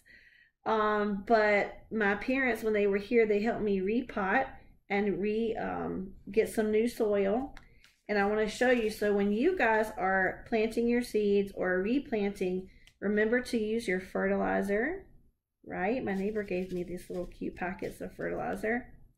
And this is a plastic one, but one of these, I think it's a trowel. All right, this is my kids. You can see it has stickers and stuff on. I think it was from Chick-fil-A. Give good toys. But this one um, will help you to dig the soil. So you need something like that and you're going to need a seed, which you guys have. So all these things just tied together in my mind today. Um, I'll show you one more. Do you guys remember these? These mallard ducks that were like so popular back in the day. So my mom and dad helped me to replant this uh this um oh plant and she also, my grandma also had these little rocks. She would collect these rocks. And I think she even had some seashells that I had given her from here that she put into the plants. These rocks probably came from all over Virginia. So I have like a little piece of her homeland. And she would put them down inside the plants just to make them look cute. She also had these elephants. Look, this one's funny. He's playing an instrument. Can you see it? An accordion. I also love elephants very much.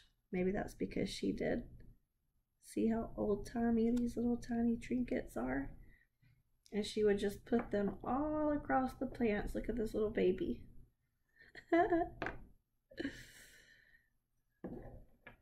she had these little frockies.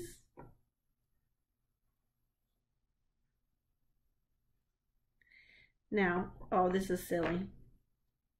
Here's me. She even had a California raisin and is singing. So these are just silly things, you know, but they're the things that give my heart pleasure because they remind me of her. Um, I'm going to show you really quick the mason jar. Here it is. So she would pick, or if somebody gave them to her, the vegetables. These are green beans.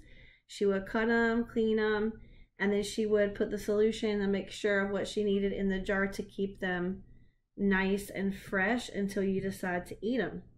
And then this is a seal. It's a old. It's getting old now and rusty, but this is a seal, and you can see that it's flat. So that means that everything in this jar, even though it's been a very long time since she canned it, it's still good, and my family and I can eat it. So I have several of these jars up under my counter, and every now and then we grab one out and we eat it, and we think about her and her hands and how precious and special that she was. That she would um, host these gatherings and have people in her home and give these as gifts also. She was just such a beautiful person, and I'm happy to be able to honor her today. So I just want to sing a little song for you guys, and um, I want you to kind of learn it along with me, and maybe we can sing it later on together. So when I was researching and thinking about my grandma, and thinking about all the good things that she sowed into the soil of my life, like seeds. Um, I was thinking about, you know, the Mayflowers that I love about her. I was thinking about um, what song could represent her. That was not specifically a Mother's Day song. Um, and I found this song by Peter, Paul, and Mary. And actually, John Denver sang it. And it's also an Irish folk tune and a lot of my people come from Ireland. So I thought this was just like really fitting. Probably everybody else in the world had heard it before, but I had not. And I just really fell in love with it. So I hope that you'll enjoy it and maybe over time we can learn it together. Uh, so just here we go. Let's try it.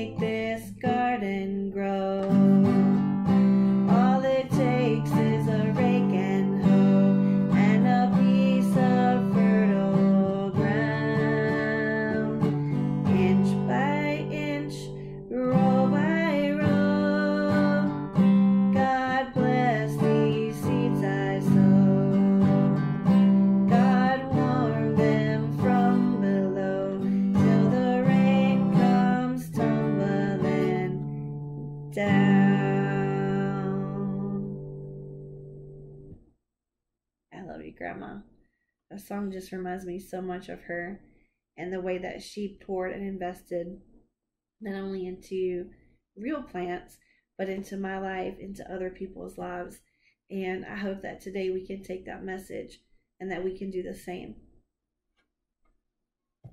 So, how can you do the same? How can you invest in others? What are some things that you guys can do to invest, meaning to put your time and your heart and your energy towards somebody else? Or think about who has invested and poured their time and their love and their effort into you. It doesn't necessarily have to be your mom. We're celebrating moms anyways this week, but it could be your mom. It could be someone who was like a mom to you, somebody who helped to raise you. Um, it could be your grandmother. It could be a caregiver or someone in your group home, someone who's taken the time to love you and to teach you and to nurture you. It could be your teachers at school.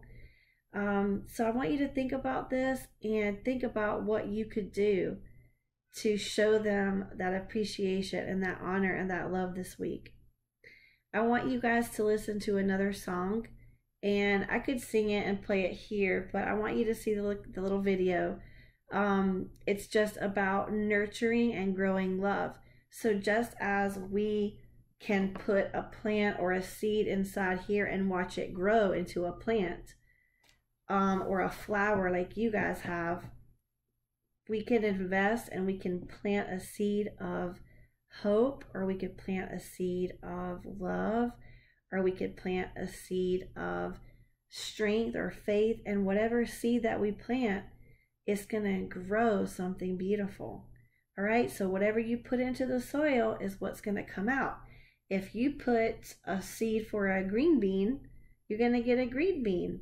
If you put a seed for a flower, you're going to get a flower. So it's the same way in our lives. If we plant the seeds of love, then we're going to get that back. All right, so I want you to watch this video and then we'll come back and talk for another second.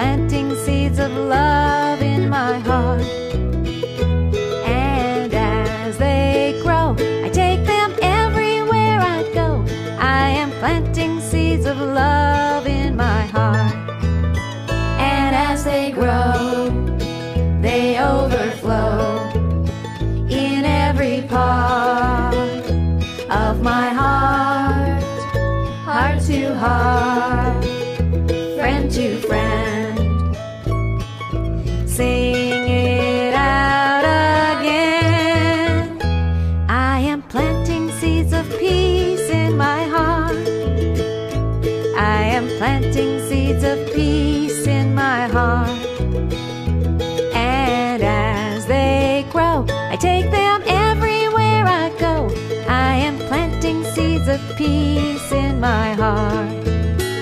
And as they grow, and as they grow, they overflow, they overflow in every part, in every part of my heart.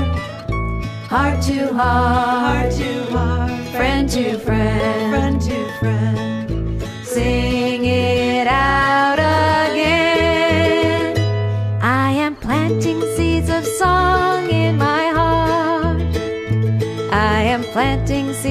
song in my heart.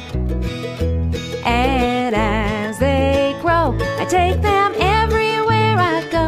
I am planting seeds of song in my heart. And as they grow, and as they grow, they overflow, they overflow in every part,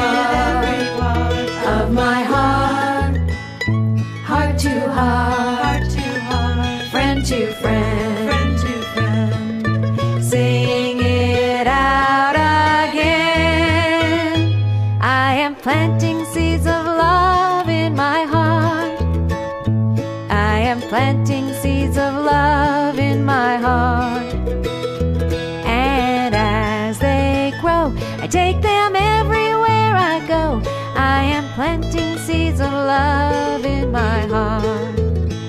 Yes, I am planting seeds of love in my heart.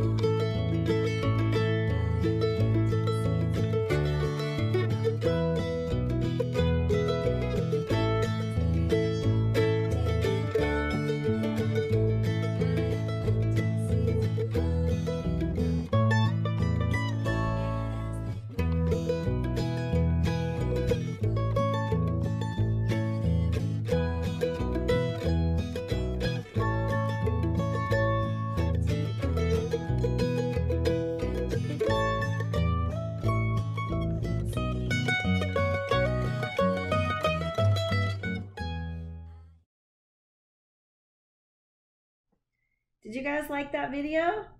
I thought that was just so cute and with the animation and everything, just a perfect way to tie in what we're talking about um, sowing seeds of different kinds. All right, let's say goodbye to all of our friends. And remember, when you sing the group number, you think of all your friends' faces in that group. You're singing to them, all right? Here we go.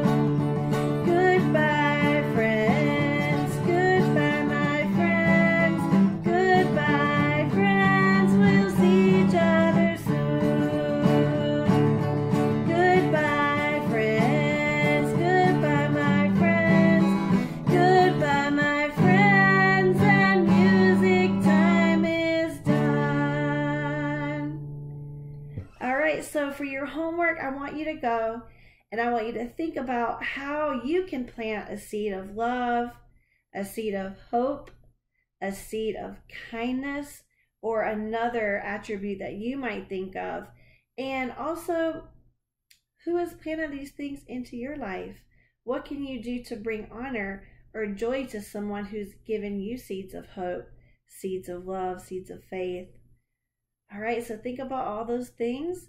And until the next time, I wish you well.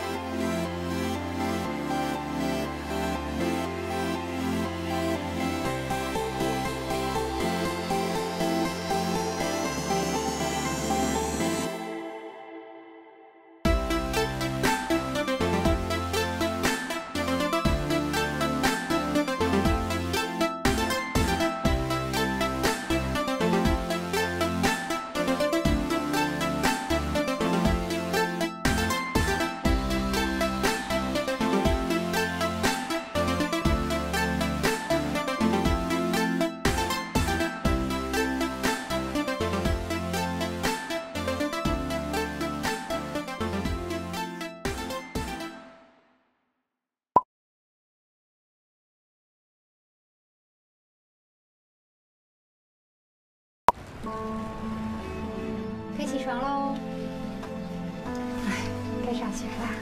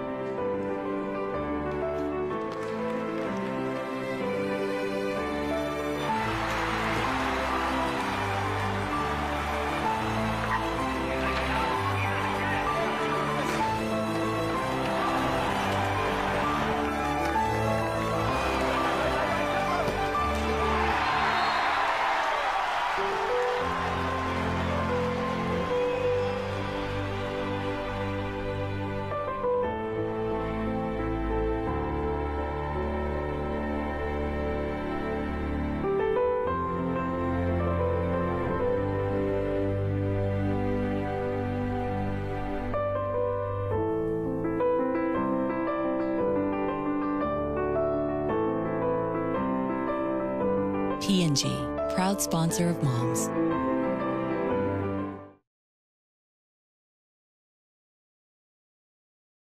Hi everyone! So, based on that video we just watched, can you guess what holiday is coming up?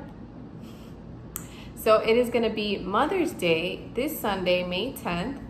And even though we're all stuck at home, maybe a lot of us are with our moms or somebody that is like a mother to us that takes care of us, we can celebrate them, right? We can um, maybe give them a card. Maybe we can just tell them how we appreciate them, how much we love them, and just thank them for everything they do for us, right? So today we're actually gonna be going over some history on how Mother's Day even came about. And, um, and we're gonna read ab about it and then we're gonna do like a little uh, activity, exercise, and and then at the end we're gonna do a Mother's Day card. Okay. Okay, guys. So I put the script next to me so you guys can see what I'm reading, and um, I'm gonna go ahead and read it, and you guys can read along with me or just listen. Okay. So. Mother's Day is a special day for remembering mothers, grandmothers, and others who have played a mothering role in a person's life.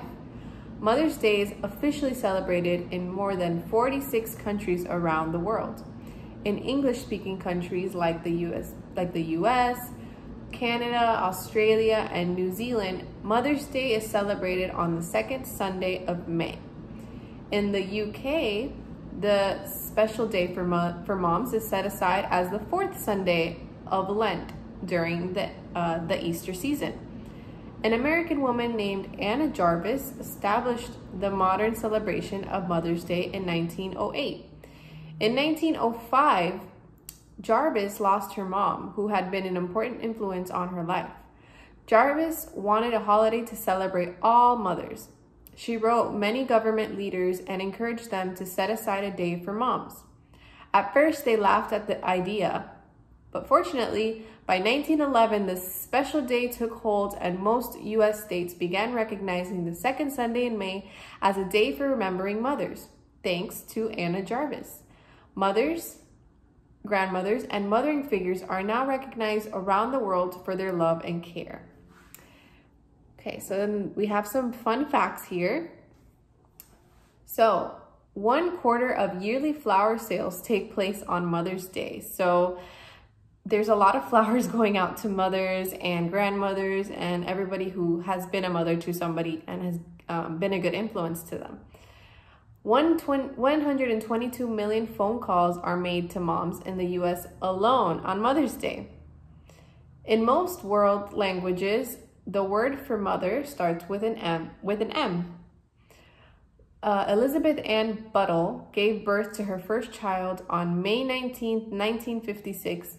She gave birth to her last child on November 20th, 1997. The siblings were born 41 years and 185 days apart. The longest gap between babies and recorded uh, ever recorded. What a lucky mom. Wow. So she gave birth to her last child on November. Oh my goodness. So the, the siblings, the brother and sister or uh, brothers and bro whatever they were, uh, are 41 years apart. That is a long, very, very, very far, far apart. Okay. In the US, in the UK, Mother's Day is often associated with the Christian holiday Mothering Sunday. However, the two celebrated are not related. Celebrations are not related. Mother's Day is spelt with an apostrophe as opposed to mothers because it is a day for each person to celebrate his or her own mother or mother figure. By the 1920s, many companies began selling things to people for Mother's Day. They were making tons of money of this new celebration day. Anna Jarvis is actually actually became an activist against Mother's Day because she believed the day should be about honoring mothers, not making money. So you don't necessarily need to go ahead and buy your mother something. Um, just telling them how much you appreciate them and um, verbally communicating with them uh, how you feel and being kind to them, maybe being helpful around the house. Those are all things that can show your mom or somebody that is like a mother figure to you um, that you care about them and that you love them.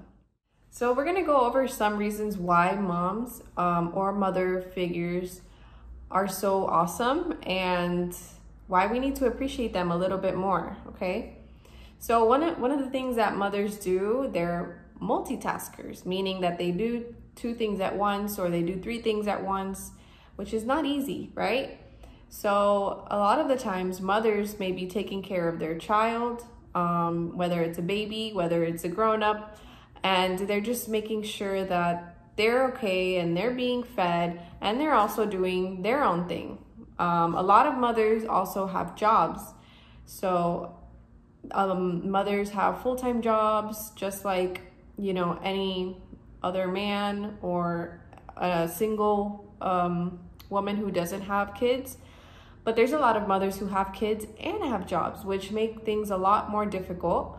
Um, so that's something that's very special and hard to, to notice, right?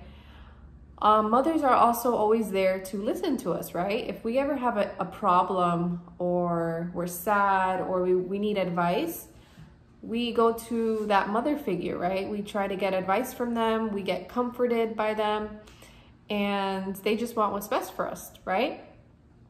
Uh, let's see what else.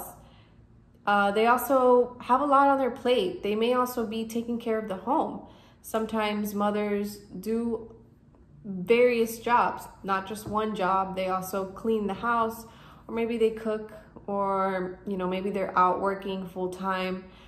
They're taking care of the kids. They're doing a lot of stuff. So it's important that we acknowledge that and we appreciate them by telling them that we appreciate them and maybe we can be helpful around the house and ask them, hey, how can I help? What can I do to help you, right? They, I'm sure that they would love that. So mother figures can come in all different shapes and forms. It does not necessarily have to be a, a, woman. It can be somebody that has taken care of you and been there for you and done all of those things, right? So it can be maybe an aunt or maybe a sister that has taken care of you um, it could be a caretaker. So these are all different mother figures, okay? So now we're gonna go ahead and go to the second part uh, of the exercise. And I want you guys to draw a picture of your mother or your mother figure. And yeah, just do your best. You don't have to be an artist, but just draw however they make you feel. Maybe, maybe you can draw uh, how you see them. Okay, so I'm gonna give you some time to do that. And then we are gonna answer what are some things you love about the person you drew above? Okay. So once you finish drawing, you can write down some things that you love about that person. It can be that they take care of you, that they love you. It can be that they take you to school. It can be that they um, make you feel better, whatever it is, okay? So part of the exercise is also answering some questions from what I was what I read to you guys. Um, so you don't necessarily have to print this out. You guys can answer with me as I read it, okay? So the first question is, what are three things you learned in the reading? So what are some three things that you learned from what I read? So something that I learned was that the person that established Mother's Day is named Anna Jarvis. I didn't know that was her name. Um, I thought that was really cool. So that's one thing. I can. Another thing can be that I learned that the UK, um, the special day for moms is set aside on the fourth Sunday of Lent. So they don't celebrate it the same day we do. So that's something I learned. And so one more thing that was interesting that I learned was that uh, in most world languages, the word for mother, the word for mother starts with M. So I know that in Spanish it's madre, and in English it's mother. So that was pretty interesting too. Okay. So next question is who was Anna Jarvis and why is she such an important person in the history of Mother's Day? So I just mentioned her name, right? So we're gonna go ahead and read back what it said in the in the paragraph. So it says, an American woman named Anna Jarvis established the modern celebration of Mother's Day in 1908. So Mother's Day was not always um, a day that we celebrated mothers. It wasn't until 1908 that a woman named Anna Jarvis, um, she made it known to the government and she wrote them a lot of letters and she told them that we should have a day just to celebrate the mothers. Um, okay. Okay, so why did Anna Jarvis become upset with the celebration of Mother's Day? So when we read back in the in the paragraph, we read that she became upset because she didn't want the day to become um, based on money, right? She didn't want everybody to spend all this money and focus on on that. She just wanted us to celebrate mothers and make sure that they all felt special. Okay, so now we're gonna do a little craft for our mothers and mother figures, okay? Um, you guys are gonna see a link of a bookmark and it already has um, some writing on it and all you have to do is color it and cut it out. But if you're like me that can't print out at the moment and just you can't print it, you guys can just grab a piece of paper um, it can be construction paper, so it could be colorful, or it can be uh, just a white sheet of paper. Um, I have cut already the sheet of paper that I have. It's a little thicker, but it's okay. Um, so if you wanna make your own, you guys can stay tuned. I'm gonna show you how to make your own, okay? Okay, so make sure you have a sheet of paper, okay? It can be a blank sheet of paper, it can be construction paper, um, it can be any type of paper, okay? And we are gonna cut it, um, or at least make it look like this size, okay? So if you can get some help, I suggest you go get some help. Um, so once we have it cut like this, we are gonna go ahead and draw something down here. So for example, I know you can't see it that well because it's in pencil, but I drew a flower and then we're gonna color it in. Um, okay? And then on the top, we're gonna put the name of the person we're giving this to. So it can be um, our mother, or it can be, if it's our sister, we can put our sister's name, uh, our aunt's name, our caretaker's name, whoever it is that you wanna give this to, this bookmark to, okay? And then um, under the name, we're gonna put a little message, okay? And I'm gonna put the message down here so you guys can copy it.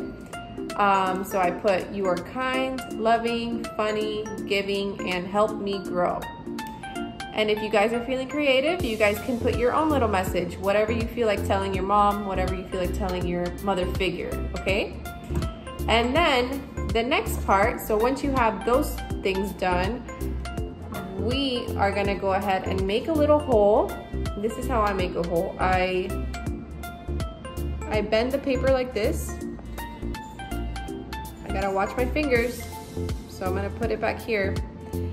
And I'm just gonna make a little hole, an indentation with my scissors, okay?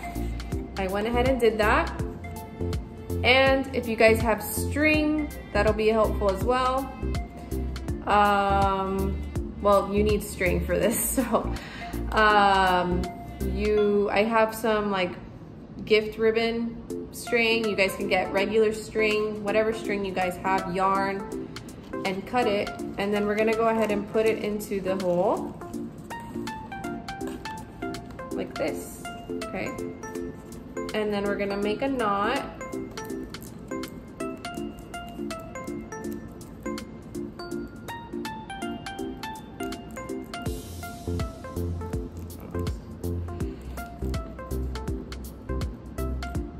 okay? And it should look like this.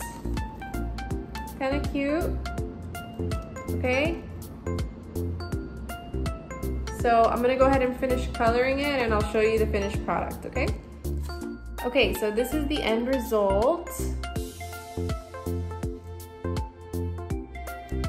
So it's a very simple little thing you guys can give your mother or mother figure. And if can't do a bookmark, that's okay too. Um, but just remember to be kind to um, whoever it is that you're gonna celebrate on Mother's Day. Um, just remember that they have done a lot for you and you know they've had they've had a lot of sacrifices to maybe just take care of you, maybe to make sure that you're okay. So, you know, it's not easy being a mom and I'm sure that they would appreciate if you said that you appreciate them or do something nice for them. Um, whether it's just giving them a snack or maybe cleaning something or making sure your room is clean. There's a lot of things you can do to make your mom or your mother figure happy. So, so with that, thank you for joining me and I'll see you guys next time.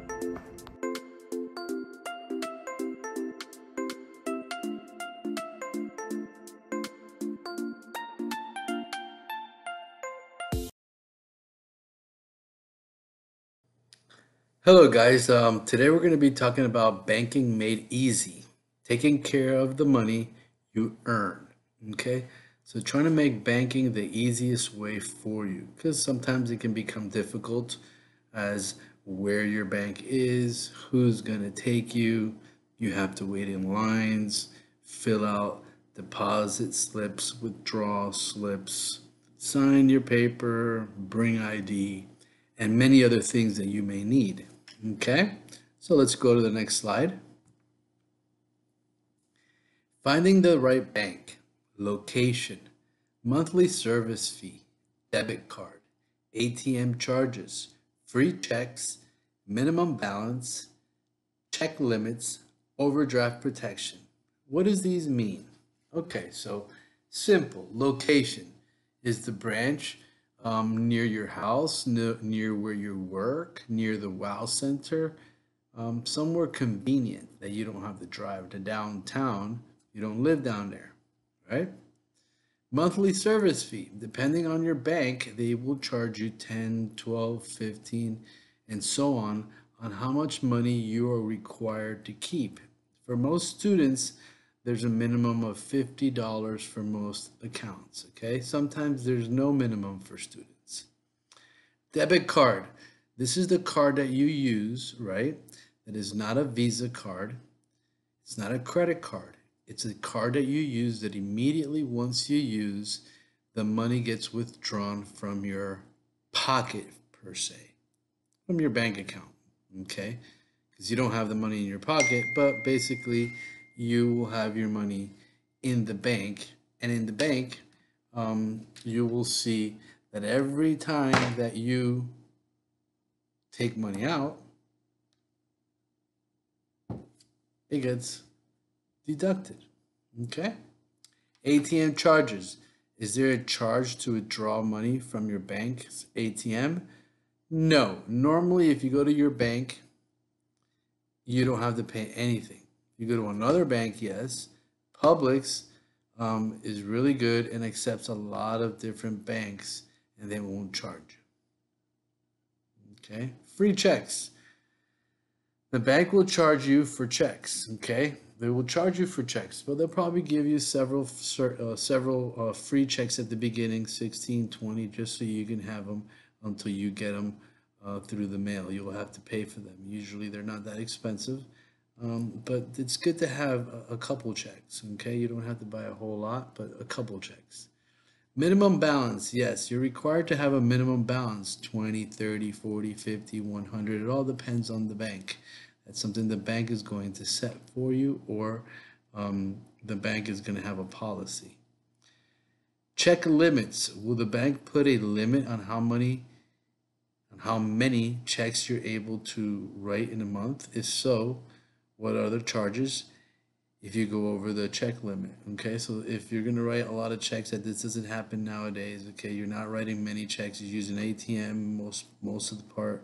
You're using Visa cards most of the part most of the times, and then your checks are usually for you know sometimes it can be rent, it can be a service that you pay, um, your gardener, um, other services. Okay, but for the most part, most people are using uh, credit cards, and they have the little machine, right, um, on their phones, right? They have a little machine on their phones where the phones stick right here, and then they slide your card, right? Overdraft protection. Does the bank offer overdraft protection? Let's say that you only have eight dollars in your bank, and you charge Subways ten dollars. They will protect you and pay those two dollars, but more than likely they're going to charge you $30 for those $2 that they lent you. So that's not a good idea. Always try to use the money that you have only. Next, type of bank accounts. There's several types, right? But we're going to just talk about two today. One being a savings account that more than likely you'll have to open. And the savings account, the purpose of the savings account is to set money aside for future needs, wants, and emergencies. Needs, a vacation, wants, maybe go back to school or a book, emergencies, this virus that we're going through right now, or just regular emergencies that you may need to help out friends, family, or yourself, something that is not expected. You fall down and you twist an ankle, you got to go to the doctors, you got to pay copays. Okay, just an example.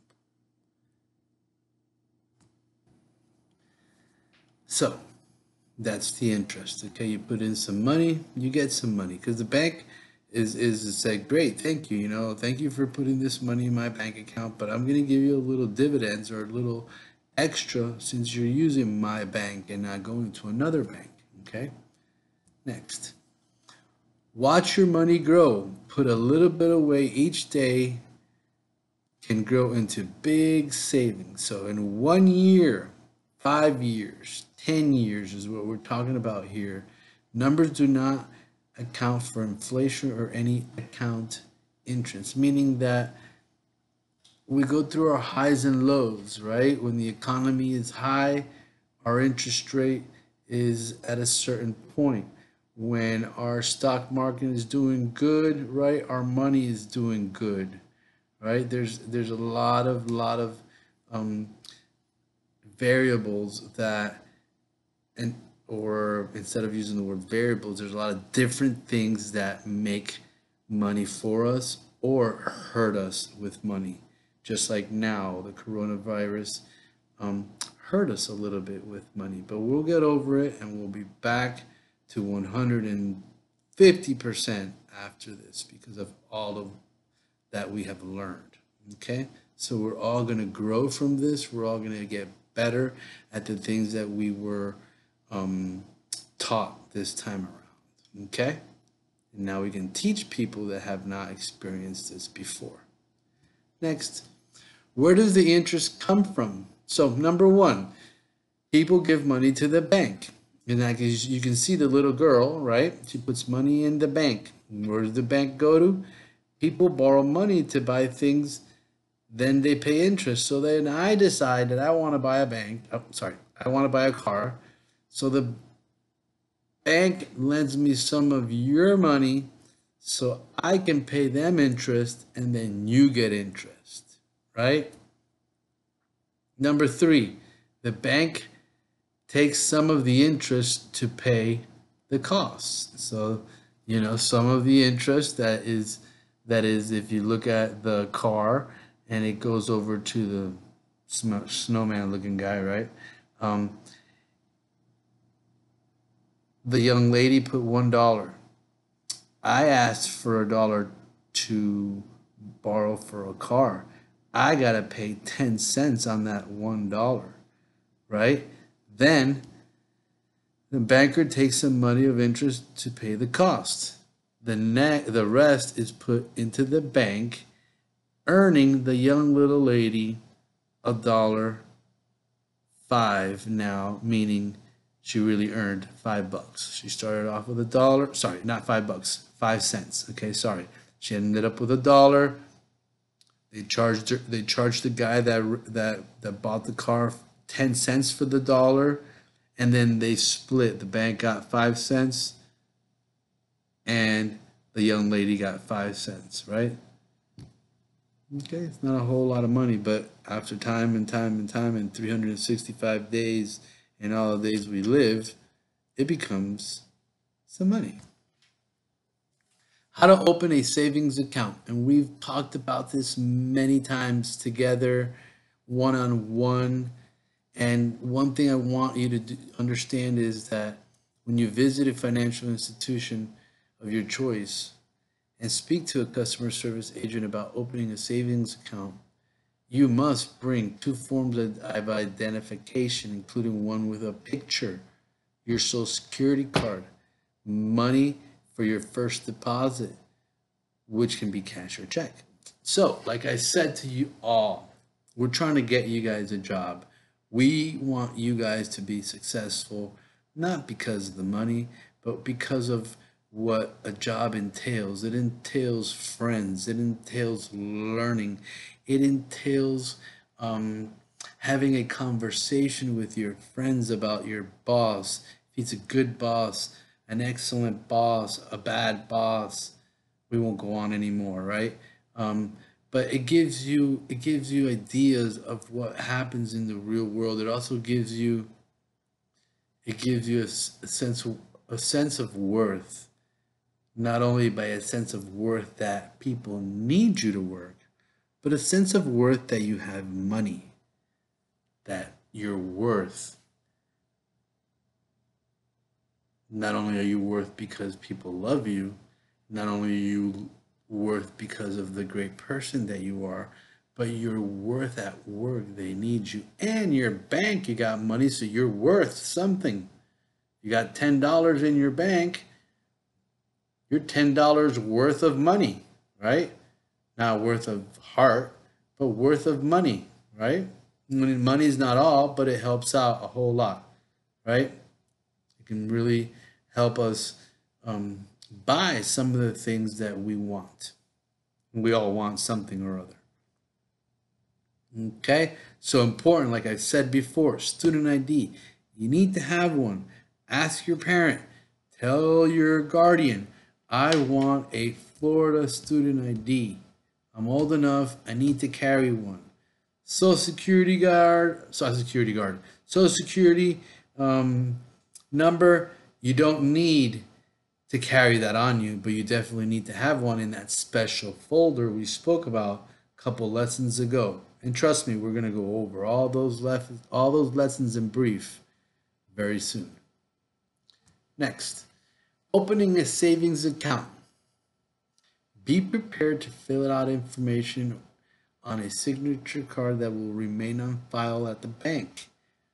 Bank uses the card to make sure the signature on the check is your real signature, not that someone's coming and taking your signature. Real signature cards typically include your name, your address, and how long you live there. Previous address, where have you lived before? How long have you lived before? type of account that you may have had, such as a single or a jointly. Were you married? Are you single? Your signature.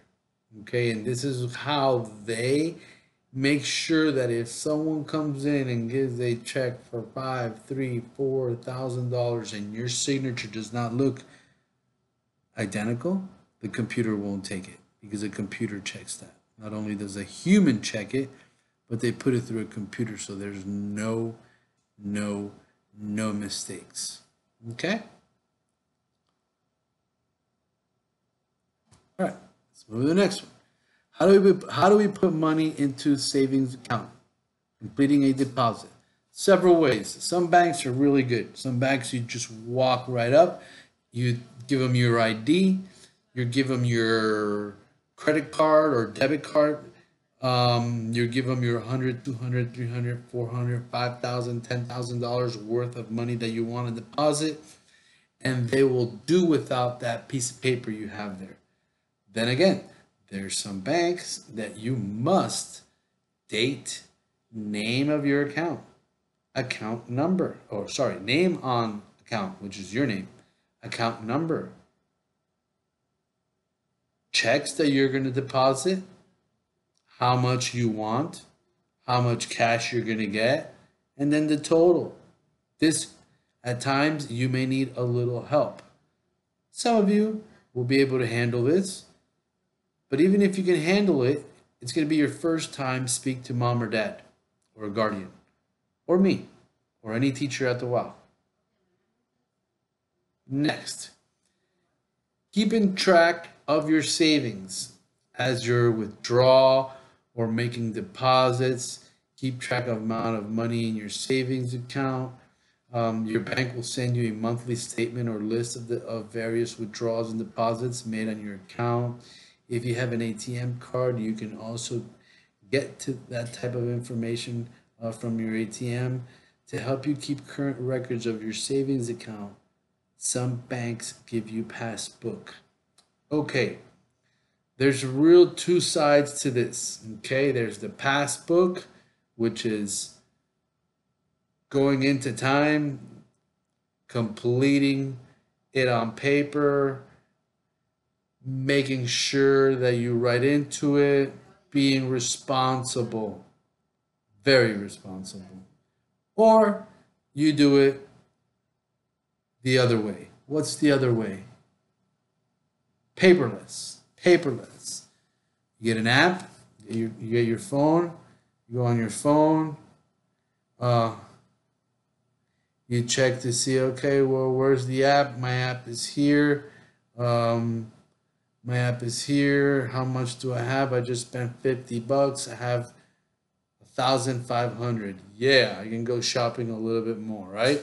Or I spent 50 bucks. Uh-oh, I have $5 left. Let me um, go back home, have my lunch, me relax at home today, watch Netflix, wait for my next paycheck, okay? What did I do wrong? Why do I only have five bucks? Or maybe you didn't do anything wrong. Maybe that's what you're supposed to have, five bucks, because you paid off all your bills. Okay? Next. Let's go to the next one. And these are very, very these are skills and these are this is information that you're going to take this for the rest of your life, right? And um, it's always good to refresh yourself, okay? Meaning read about it again. Banks change their policies, okay? You can become a better saver. You can become a better shopper. Okay, I don't like to say the word cheap, but let's work on buying stuff that's inexpensive. Let's be frugal. We don't want to buy cheap stuff. We want to buy stuff that's inexpensive, frugal. Let's be frugal with our money, right? So it lasts as much as we can. Next, let's review.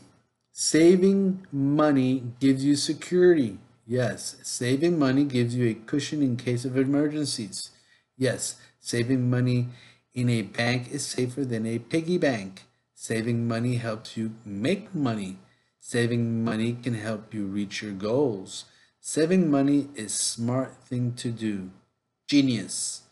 a piggy bank. Like I said, right? Some of us are not going to have bank accounts because it's tough and we can't do it today, we can't do it tomorrow, but a couple weeks, make an appointment, get STS, and then if you look down, you got the bank, the money bag, the cash bundles, the coins, okay? Checking account. There's a checking account.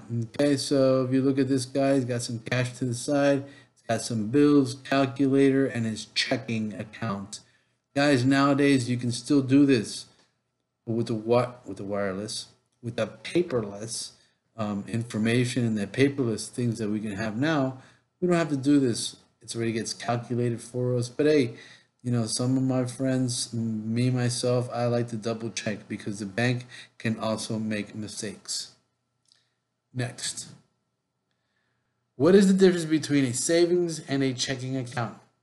Okay. Checking account are designed to be a day in and day out money management tool. So you're going to go buy lunch every day, you're going to use that, the checking account. Bank accepts people to make frequent withdrawals and deposits to the checking account. So the bank knows that you're buying, say you're buying, depositing, you're buying, depositing, you're buying, depositing. Okay, sometimes when they see that you're buying too much, they will block off your card. An important difference between checking and savings account is that the checking account come with checks. An important difference between checking and savings account is that the checking account comes with checks. Yes, a checking account normally is going to give you checks. You're going to have checks so you can write. Okay? Savings account's not going to have that. Saving accounts are designed for long-term money management. Another important difference is that most savings accounts earn interest while many checking accounts do not. Okay? So the um, the the checkings the checkings accounts are going to earn um, not a whole of it, not a whole lot of interest, but your savings accounts will earn some interest. Okay, not a whole lot either, but they will uh, they will save you some money. Okay, or earn you some money. Next, what can checks do? Checks can be used to purchase just like cash, and they can help uh, people pay bills or make simple purchases without carrying around cash or sending through the mail. People use checks for rent, groceries, clothes. Checks are legal documents that function like um, money. It functions like money. So you got to be careful. Okay. So if you want to pay your rent, you use a check. Um, some guy comes out and starts painting your house. You want to use a check. So you want to pay him in full. So if he tells you, hey, you're going to paint your house for a thousand dollars, you tell him, okay, well, I'll give you a check for three hundred dollars now, a, th- a check for two hundred dollars in the middle, and when you finish, you get the rest of it. Okay? Don't give them, don't give it all to them. Okay? Make them work for it. Okay? Make them work for it. Make them have that money when they've done the services. Next, writing a check. Here we go. Your name, is on the left hand side corner, your date on the right hand side corner, your check number, paid to the order of, you can write my name, you can put a million dollars there, you can write on the bottom, you're also going to have to write dollars. You see where it says dollars? You're going to have to start right. You're going to have to write there one million dollars, right? Memo. Okay, why are you sending these one million dollars to somebody? Okay. Do you owe them? Is it a loan? Being exaggerated with the 100, with a million dollars, but let's say you owe somebody a hundred bucks. Boom, here, here's a check. Your signature. It's safe, guys. You know, checks are safe, especially during the holidays. Women, men, especially women are very vulnerable. You're right. You you don't want to be you don't want to be whipping out, you know, um, your wallet and it's loaded with hundreds, right? No, you or twenties or whatever you have in there. It's loaded with whatever money you have. People are looking. You have a check. That thief says, "Hey, she's got a check. I'm not going to be able to get nothing off of her." Okay, so you're safe. And checks also give you a form of a receipt, okay? Because when you sign this and you do all that, it goes back to your bank, and your bank says to you, hey, you paid $500 for this service. So you have a receipt. Okay, a little video now that we're just going to watch.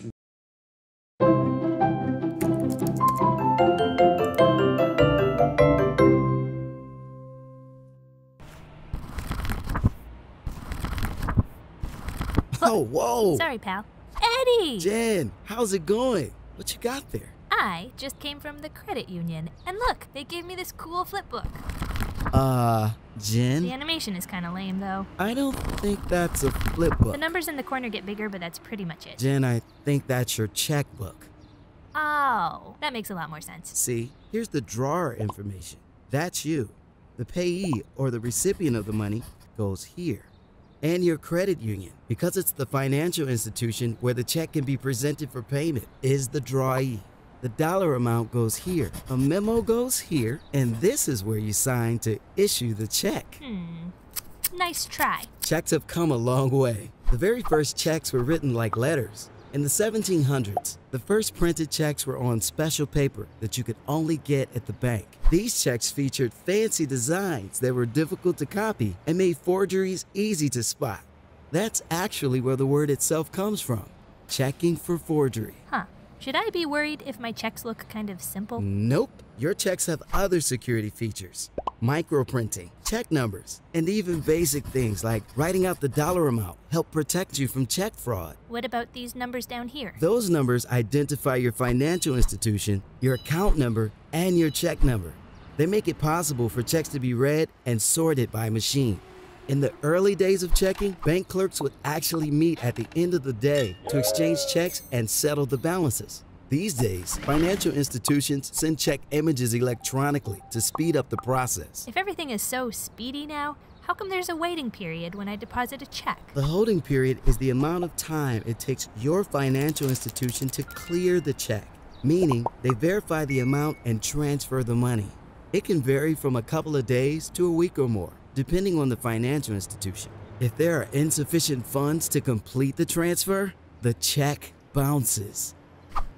Not literally, Jen. Eddie, do you think checks are going to be around for much longer? They seem kind of old fashioned, especially compared to stuff like debit cards and automatic payments. Checks aren't as popular as they once were, but they're still in use for things like payroll, rent, and utility bill payments. So knowing how to write a check and understanding the holding period is still an important part of balancing a checking account. Gotcha. Thanks, Eddie. You got it. Seriously, you gotta stop doing that.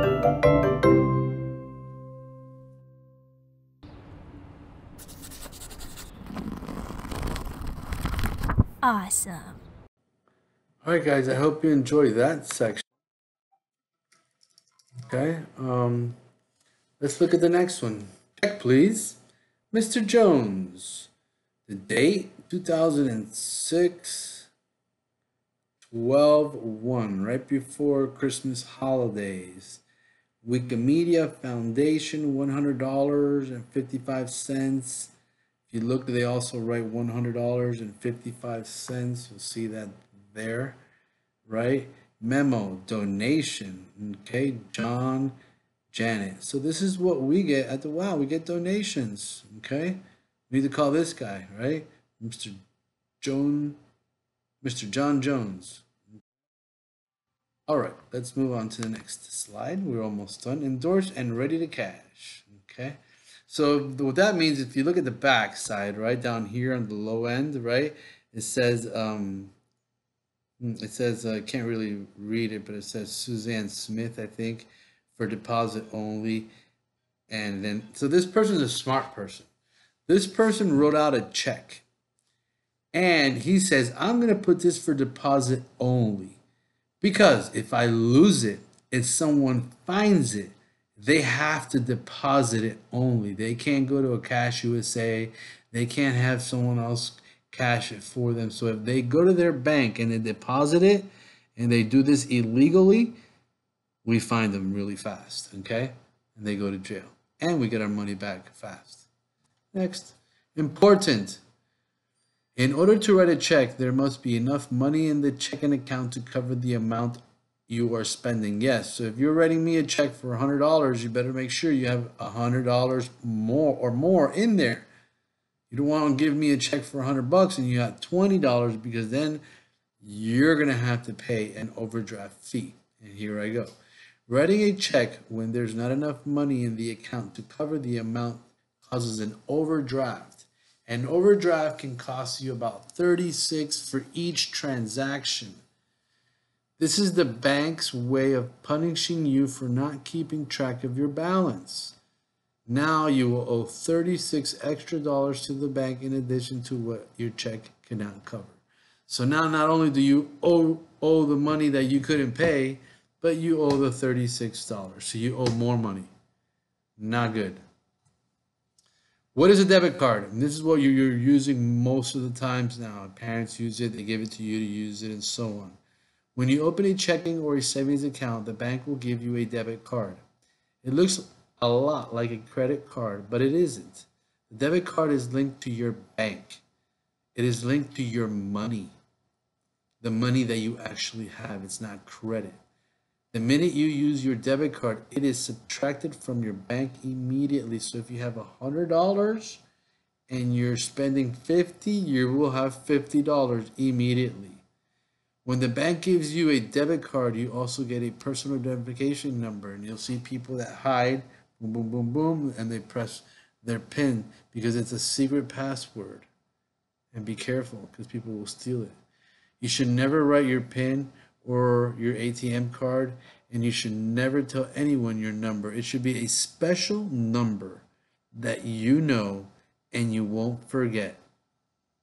I won't give you any ideas, but I actually will. I'll give you one idea.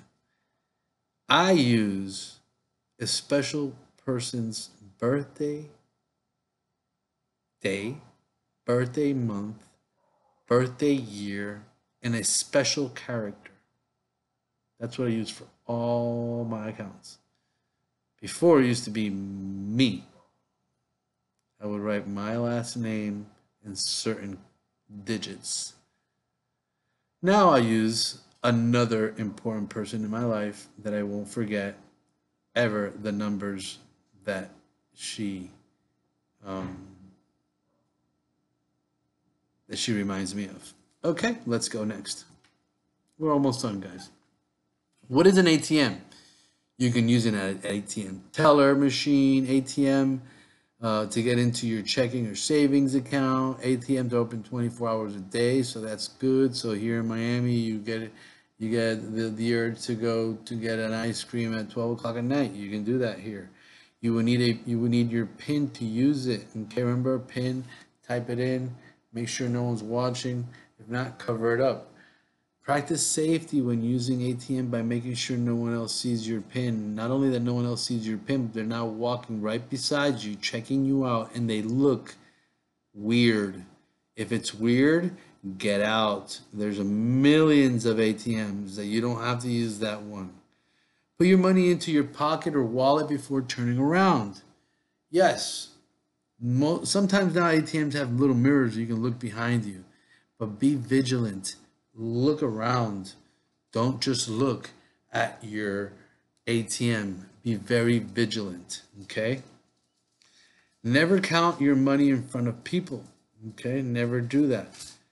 Use an ATM at another bank, you will be charged a fee. So if you go to another ATM, say you have Chase and you go to um, Wells Fargo, they're going to charge you.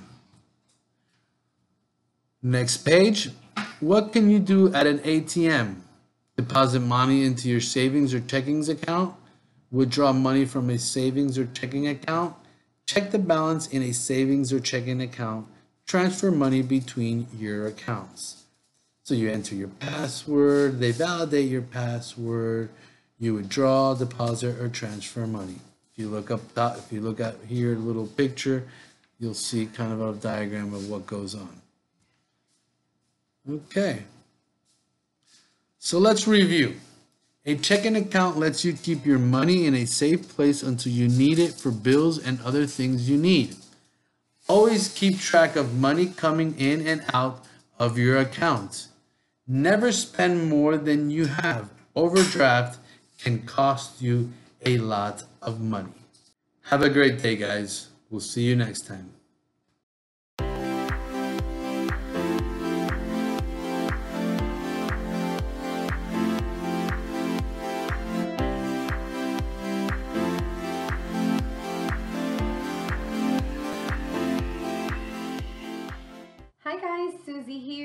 I'm wearing my cap because today we are going to be heading out into my garden for a little while because we are going to be learning about the life cycle of the butterfly. Come along, let's head outside.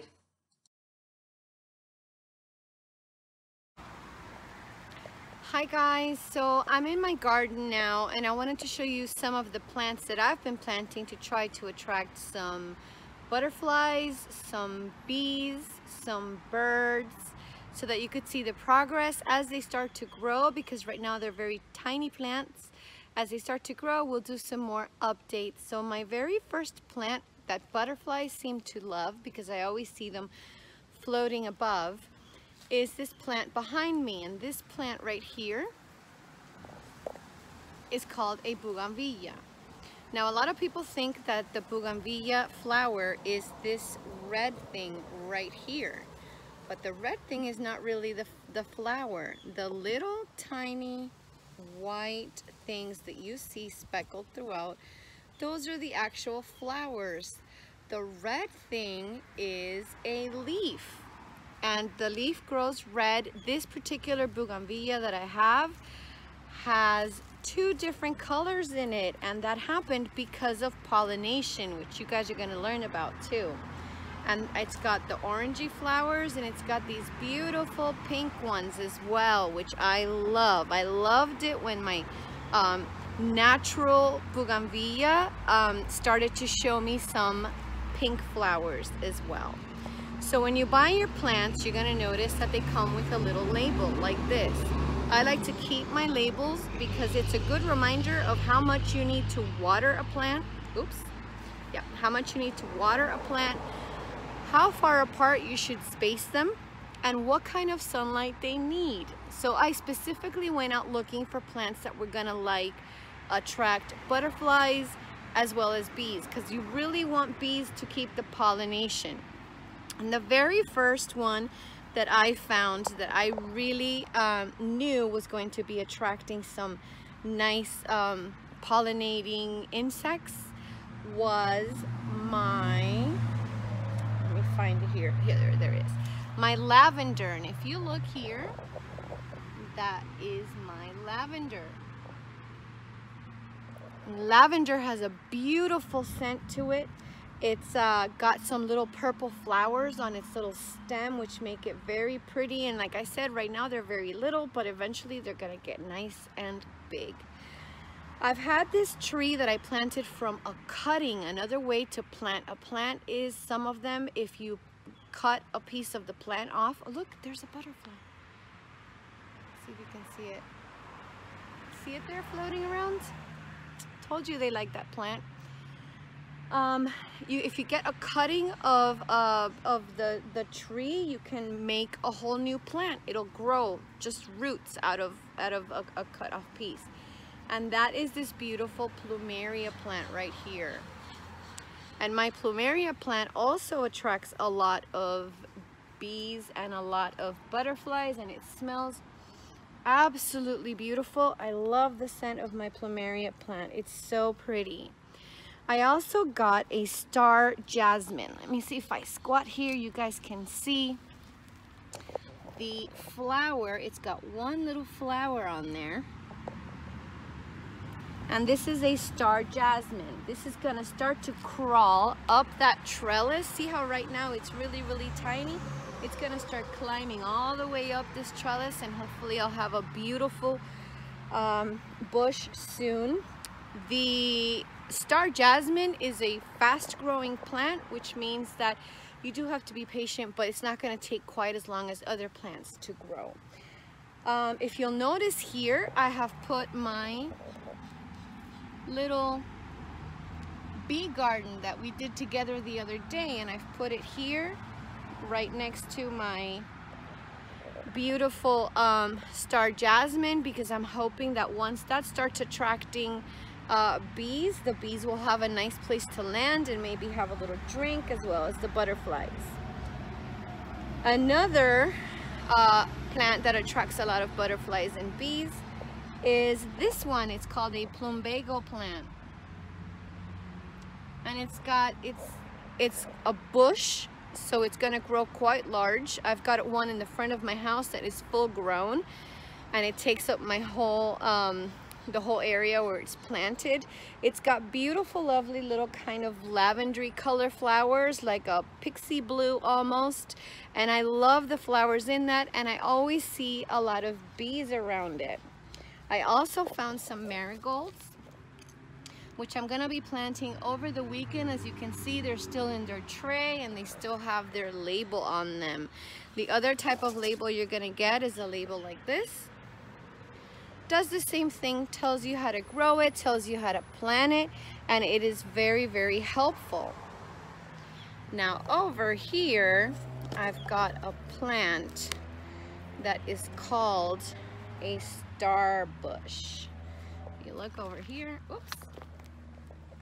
I've planted several of them and the reason I planted several is because it's a smaller plant, but it also is known to be a big attraction for bees and butterflies. So soon I'm going to be also buying over the weekend some lantana. I'm hoping to get some firebush, which is another plant that butterflies, apps, and hummingbirds like firebush too.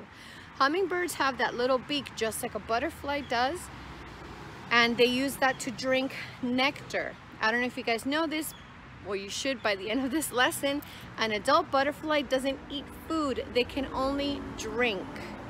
So their little uh, tongue is hollow on the inside and they use it kind of like a straw to drink up the nectar of flowers. And when it stops on a flower, its little legs collect pollen and then that flower pollen goes to another flower and it does a thing called pollination, which is how flowers reproduce.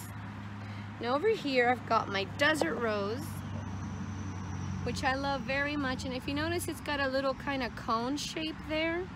I've seen lots of little bees and I've seen lots of little um, animals sticking their noses in there and um, and having a drink because water accumulates on the inside of that as well as nectar. I hope you enjoyed your little tour of my little future butterfly garden which I'm hoping will grow very soon. I will, like I said, keep you guys up to date on the growth of my garden and what is visiting it. And one more thing over here is a bird feeder that my husband made for me. You can see it right there. That my husband made for me out of an old upcycled water bottle and some wood that we had in the house. So now we've got birds that come in in the mornings and they land right here and they eat, the blue jays take away those nuts. But we've had other other birds like grackles come in and other little songbirds that we can't identify yet. But as soon as we know what they are, we will let you guys know. All right, back inside for some more of our lesson on the majestic butterfly.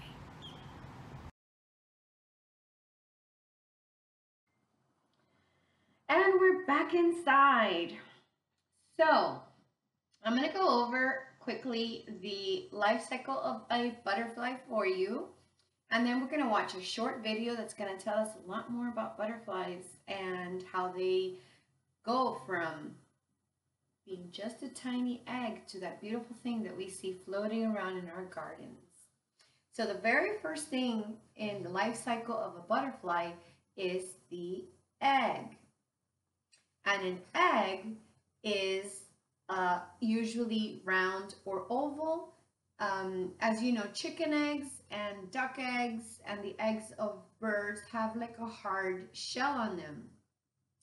But the eggs of insects and the eggs of, say, lizards and reptiles tend to be kind of softer and a little bit more fleshy. But contained inside that tiny little egg, and they are teeny tiny for butterflies, is everything that is needed to eventually create a butterfly. Once the egg hatches, you end up with a larva, also known as a caterpillar. And it's called a larvae because it's going to transition, it's going to change into something else. This is only the second stage of its life cycle. So that caterpillar will spend some time munching away on a leaf and growing and getting fatter. And sometimes you see caterpillars and they look like they're so fat and they just gonna explode. Well, just when they've eaten enough, then they transition into the chrysalis. And the chrysalises take many different shapes, but it, that is the general shape that it has.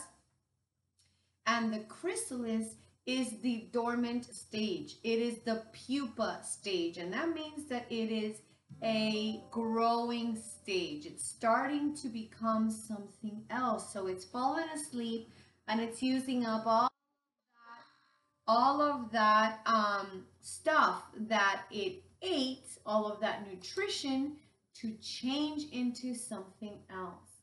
And once the butterfly is ready to emerge from its chrysalis, it will come out as a beautiful butterfly. And there are many, many, many, many species of butterflies, which we will learn about also in a little bit. But right now, I'd like you to stay tuned and watch the following video about the life cycle of the butterfly, our friends.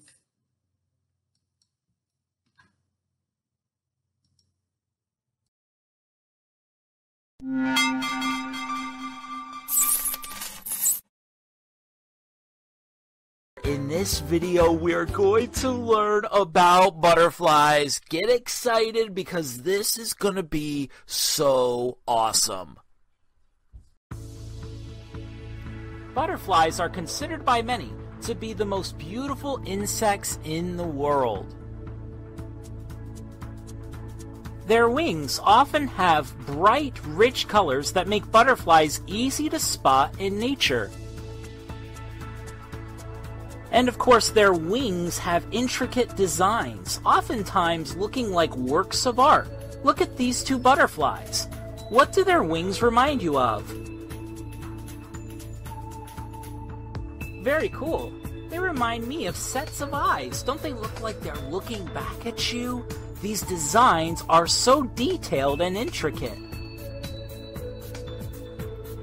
Hey, did you know there's a very interesting life journey that a butterfly must go through in order to look the way butterflies look and to be able to fly? And we're going to look at that life journey right now. The first part of their journey is called the egg. That's the very first part of their life journey. The shapes of the eggs depend on the type of butterfly. And what's cool is if you look closely, you can see the caterpillar growing inside. Wait, a caterpillar? I thought we were talking about butterflies. You'll see. Now, the second part of a butterfly's journey is when the butterfly is a larva. A larva. That's when the egg hatches and a larva comes out. What is the common name of a butterfly larva? Yeah, a caterpillar. During this stage in a butterfly's life, it is so important for the butterfly larva, called the caterpillar, to eat as much as possible. Eating, eating, eating is the job that a caterpillar has. Then, when the caterpillar is fully grown, it forms itself into something called a chrysalis, which is the third stage, the chrysalis stage. In the chrysalis, the caterpillar is going through massive changes. the caterpillar is literally turning into a butterfly! This huge change is called metamorphosis. Can you say metamorphosis? Wow. metamorphosis. Then finally, the butterfly is an adult, which is the fourth stage of full fledged butterfly. Now let's look at the parts of a butterfly to learn even more about these amazing insects. The most noticeable part of a butterfly are a butterfly's wings. Each butterfly has four wings. You might be thinking, hey, I only see two wings. Well, there are two wings hiding behind that tall wing, which gives us four wings. Every butterfly has four wings. The wings are attached to a part of the butterfly called the thorax.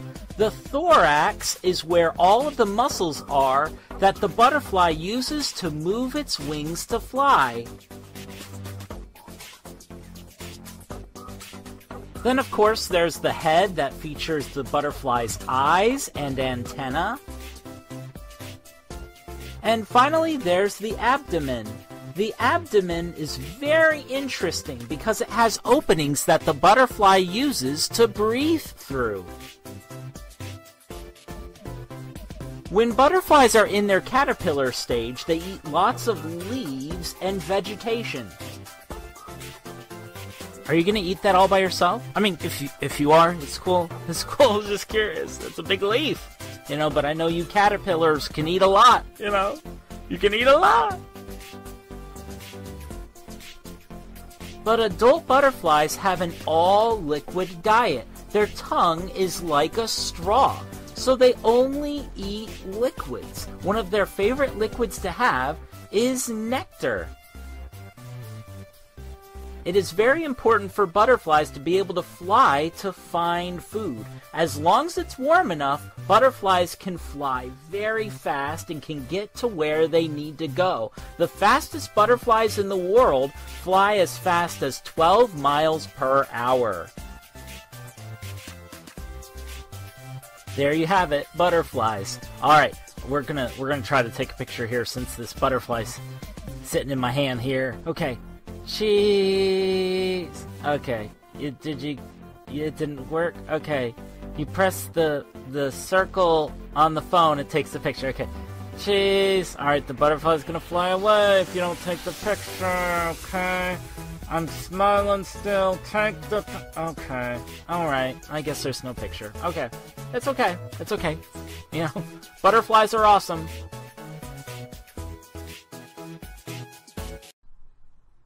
Thanks for hanging out with us. You are awesome. In the middle of the screen, you can see there's a button you can click to subscribe to our channel, or you can click one of these two boxes to watch a different video. But don't stop learning now. Go ahead, click.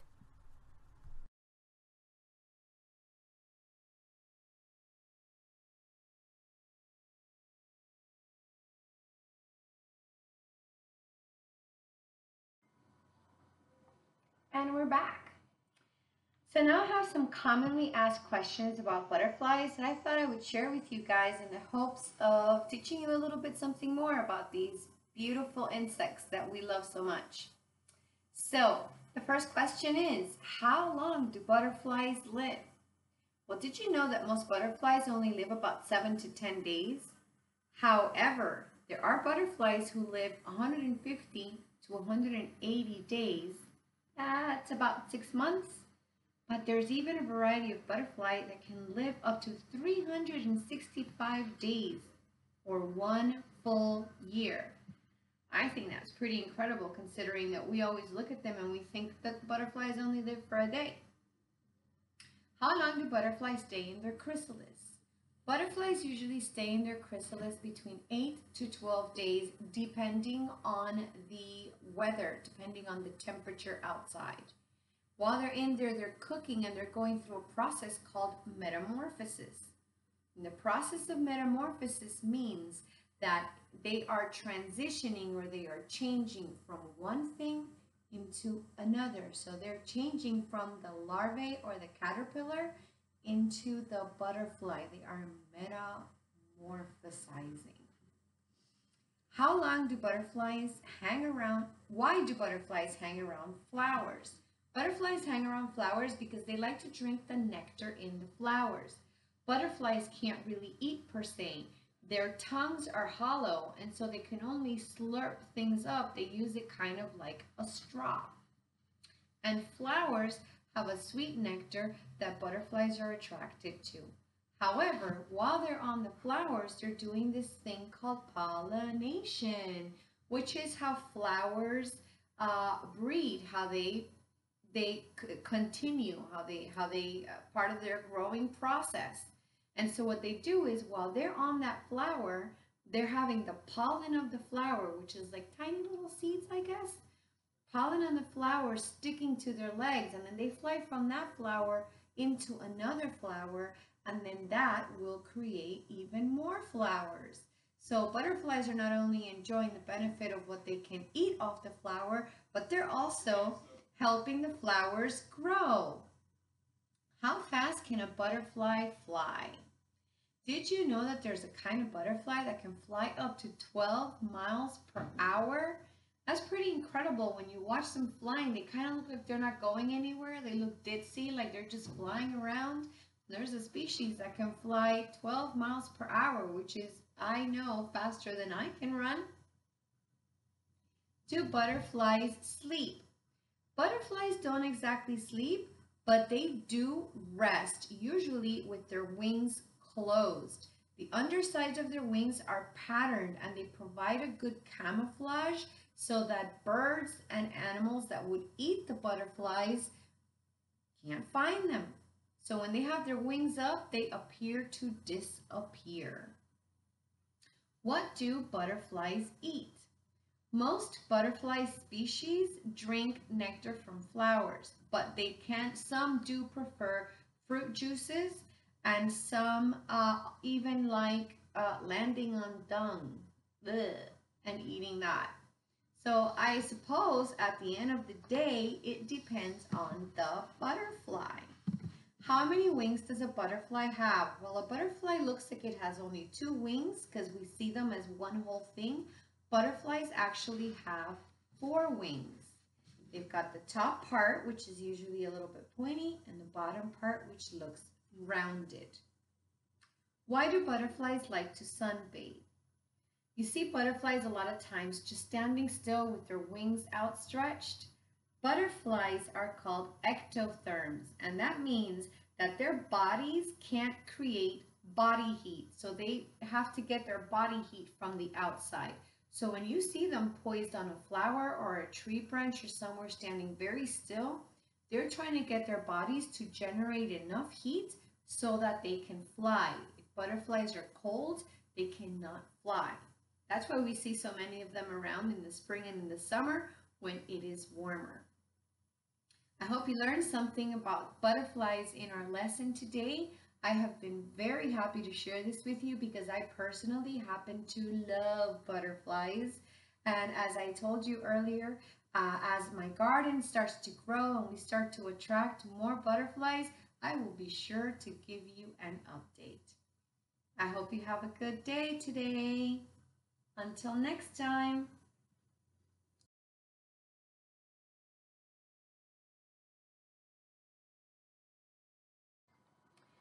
Included in your packet will be a list of vocabulary words that I would like you to work on. They are words that I have covered through my lesson and uh, pretty much defined all of them. Another thing you're going to be receiving is this life cycle of the butterfly, and that will be helpful in finishing the following two worksheets. You will have this worksheet in your packet with some empty holes numbered 1 through 4. And you will have this in your worksheet. So your goal is to cut these out and you're going to be putting them in order in the other worksheet uh, in the stages of development of the butterfly. Also included in your worksheet will be this. You will be expected to look at the pictures down here and you can draw the things that belong in each of these. If you have someone at home that can help you, um, I encourage you to sit with them and maybe, just maybe, you can teach them a thing or two about butterflies and what you learned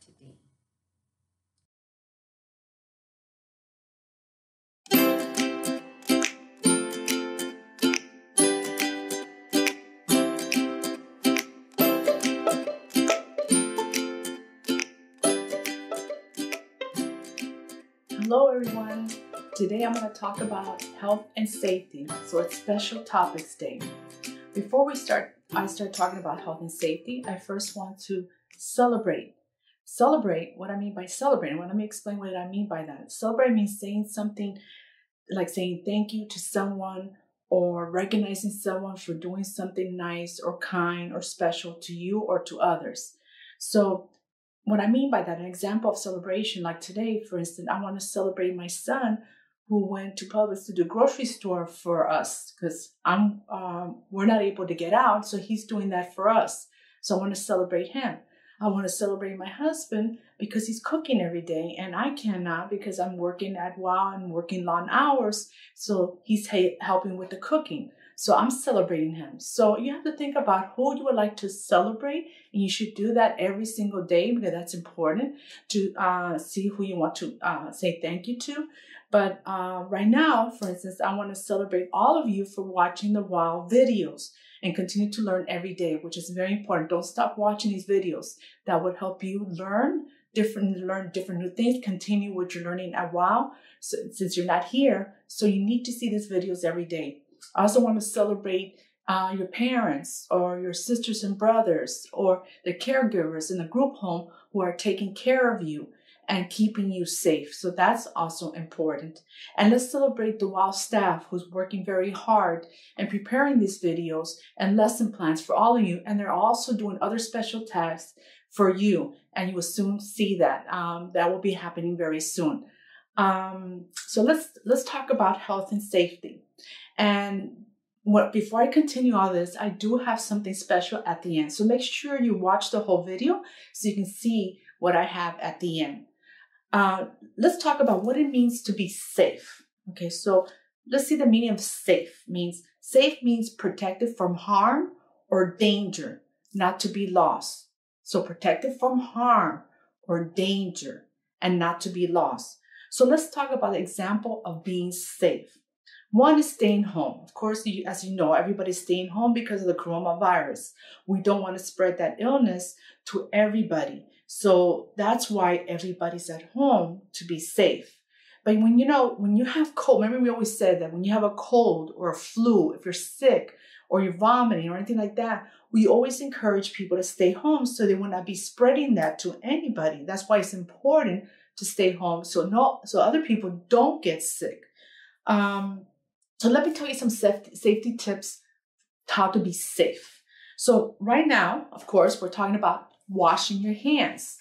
Okay, and I know Barbara's uh, been taught you how. I'm sure she did a lesson, and I know she did a video about washing your hands, and she was showing the proper way of washing your hands. So, like if you have a soap at home, or it could be something like this, like a pump, like one of these soap pump, Okay, you put some in your hand or you use the soap to lather it. Okay, first, of course, first wet your hands and then get the soap and lather really good until it's all soapy when your hands are all soapy. But wash your hands like this, like this, inside, outside, inside your nails. Make sure everything's washed and watch it for few, wash your hands for a few minutes. After you wash your hands, you rinse the soap you okay make sure you wash off the, uh, the, the soap and the most important thing is to dry your hands please do not walk out with your hands wet because then you're touching everything and that's not good so make sure you dry your hands after you wash your hand uh, with after you wash with soap now um, wearing a mask and gloves because of the coronavirus, if you have that at home, um, actually you should not be going out at all. But if you had to go out and if you do have a mask, uh, something like this or something similar to this or something better than this, or gloves, okay, these are the gloves, okay, you should wear the gloves and the mask before you go out if you're going to go to the grocery store. But I encourage you to stay home and hoping that somebody else will do that for you. And the person who's ever doing that should be wearing a mask and gloves just to make sure that, you know, uh, they don't get the virus to protect themselves. And that's one way to keep yourself safe.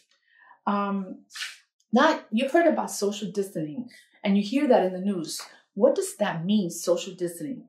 Well, it, it means intentionally creating a physical space between you, between people, you and someone else, and in order to not spread the virus.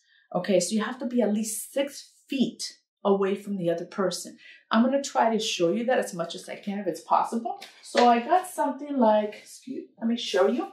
I don't know if I can show you this, but it's really big. I, I mean, six feet is something like this, starting all the way like this. It's long, it's very long. You see that? Six feet. This is you have to be six feet away from somebody else in order not to spread this virus, in order to protect yourself, to keep safe. Excuse me, let me put this down. So that is big. Six feet is big. So that's very far away. That's how you, you have to keep your distance from that person. Another way of social distancing is not hugging, not kissing, not get like again, not getting close, but maybe saying just if you want to greet somebody, say hello. If you want to say I love you, just say I love you. You can say that. Say the peace sign. You want to greet somebody, but you have to keep that social distancing. That's very important. You don't want to get close to another person. So in order to uh, avoid spreading the virus or not, or you don't want to get sick. So that's important. That's why you hear that in the news about social distancing. So that's one way to keep you safe. Um, another another safety tip is also to keep you safe is wearing a seatbelt. So when you get in the car, you got to make sure you wear a seatbelt. This is when, God forbid, if you get in an automobile accident, that will protect you from getting hurt. Moving forward, you can hit yourself on the windshield, so or, or, or fall or fall to the ground. But you know, just wearing a seatbelt also keeps you safe. So that is important. Let's not forget that. And then, um, what about crossing the street?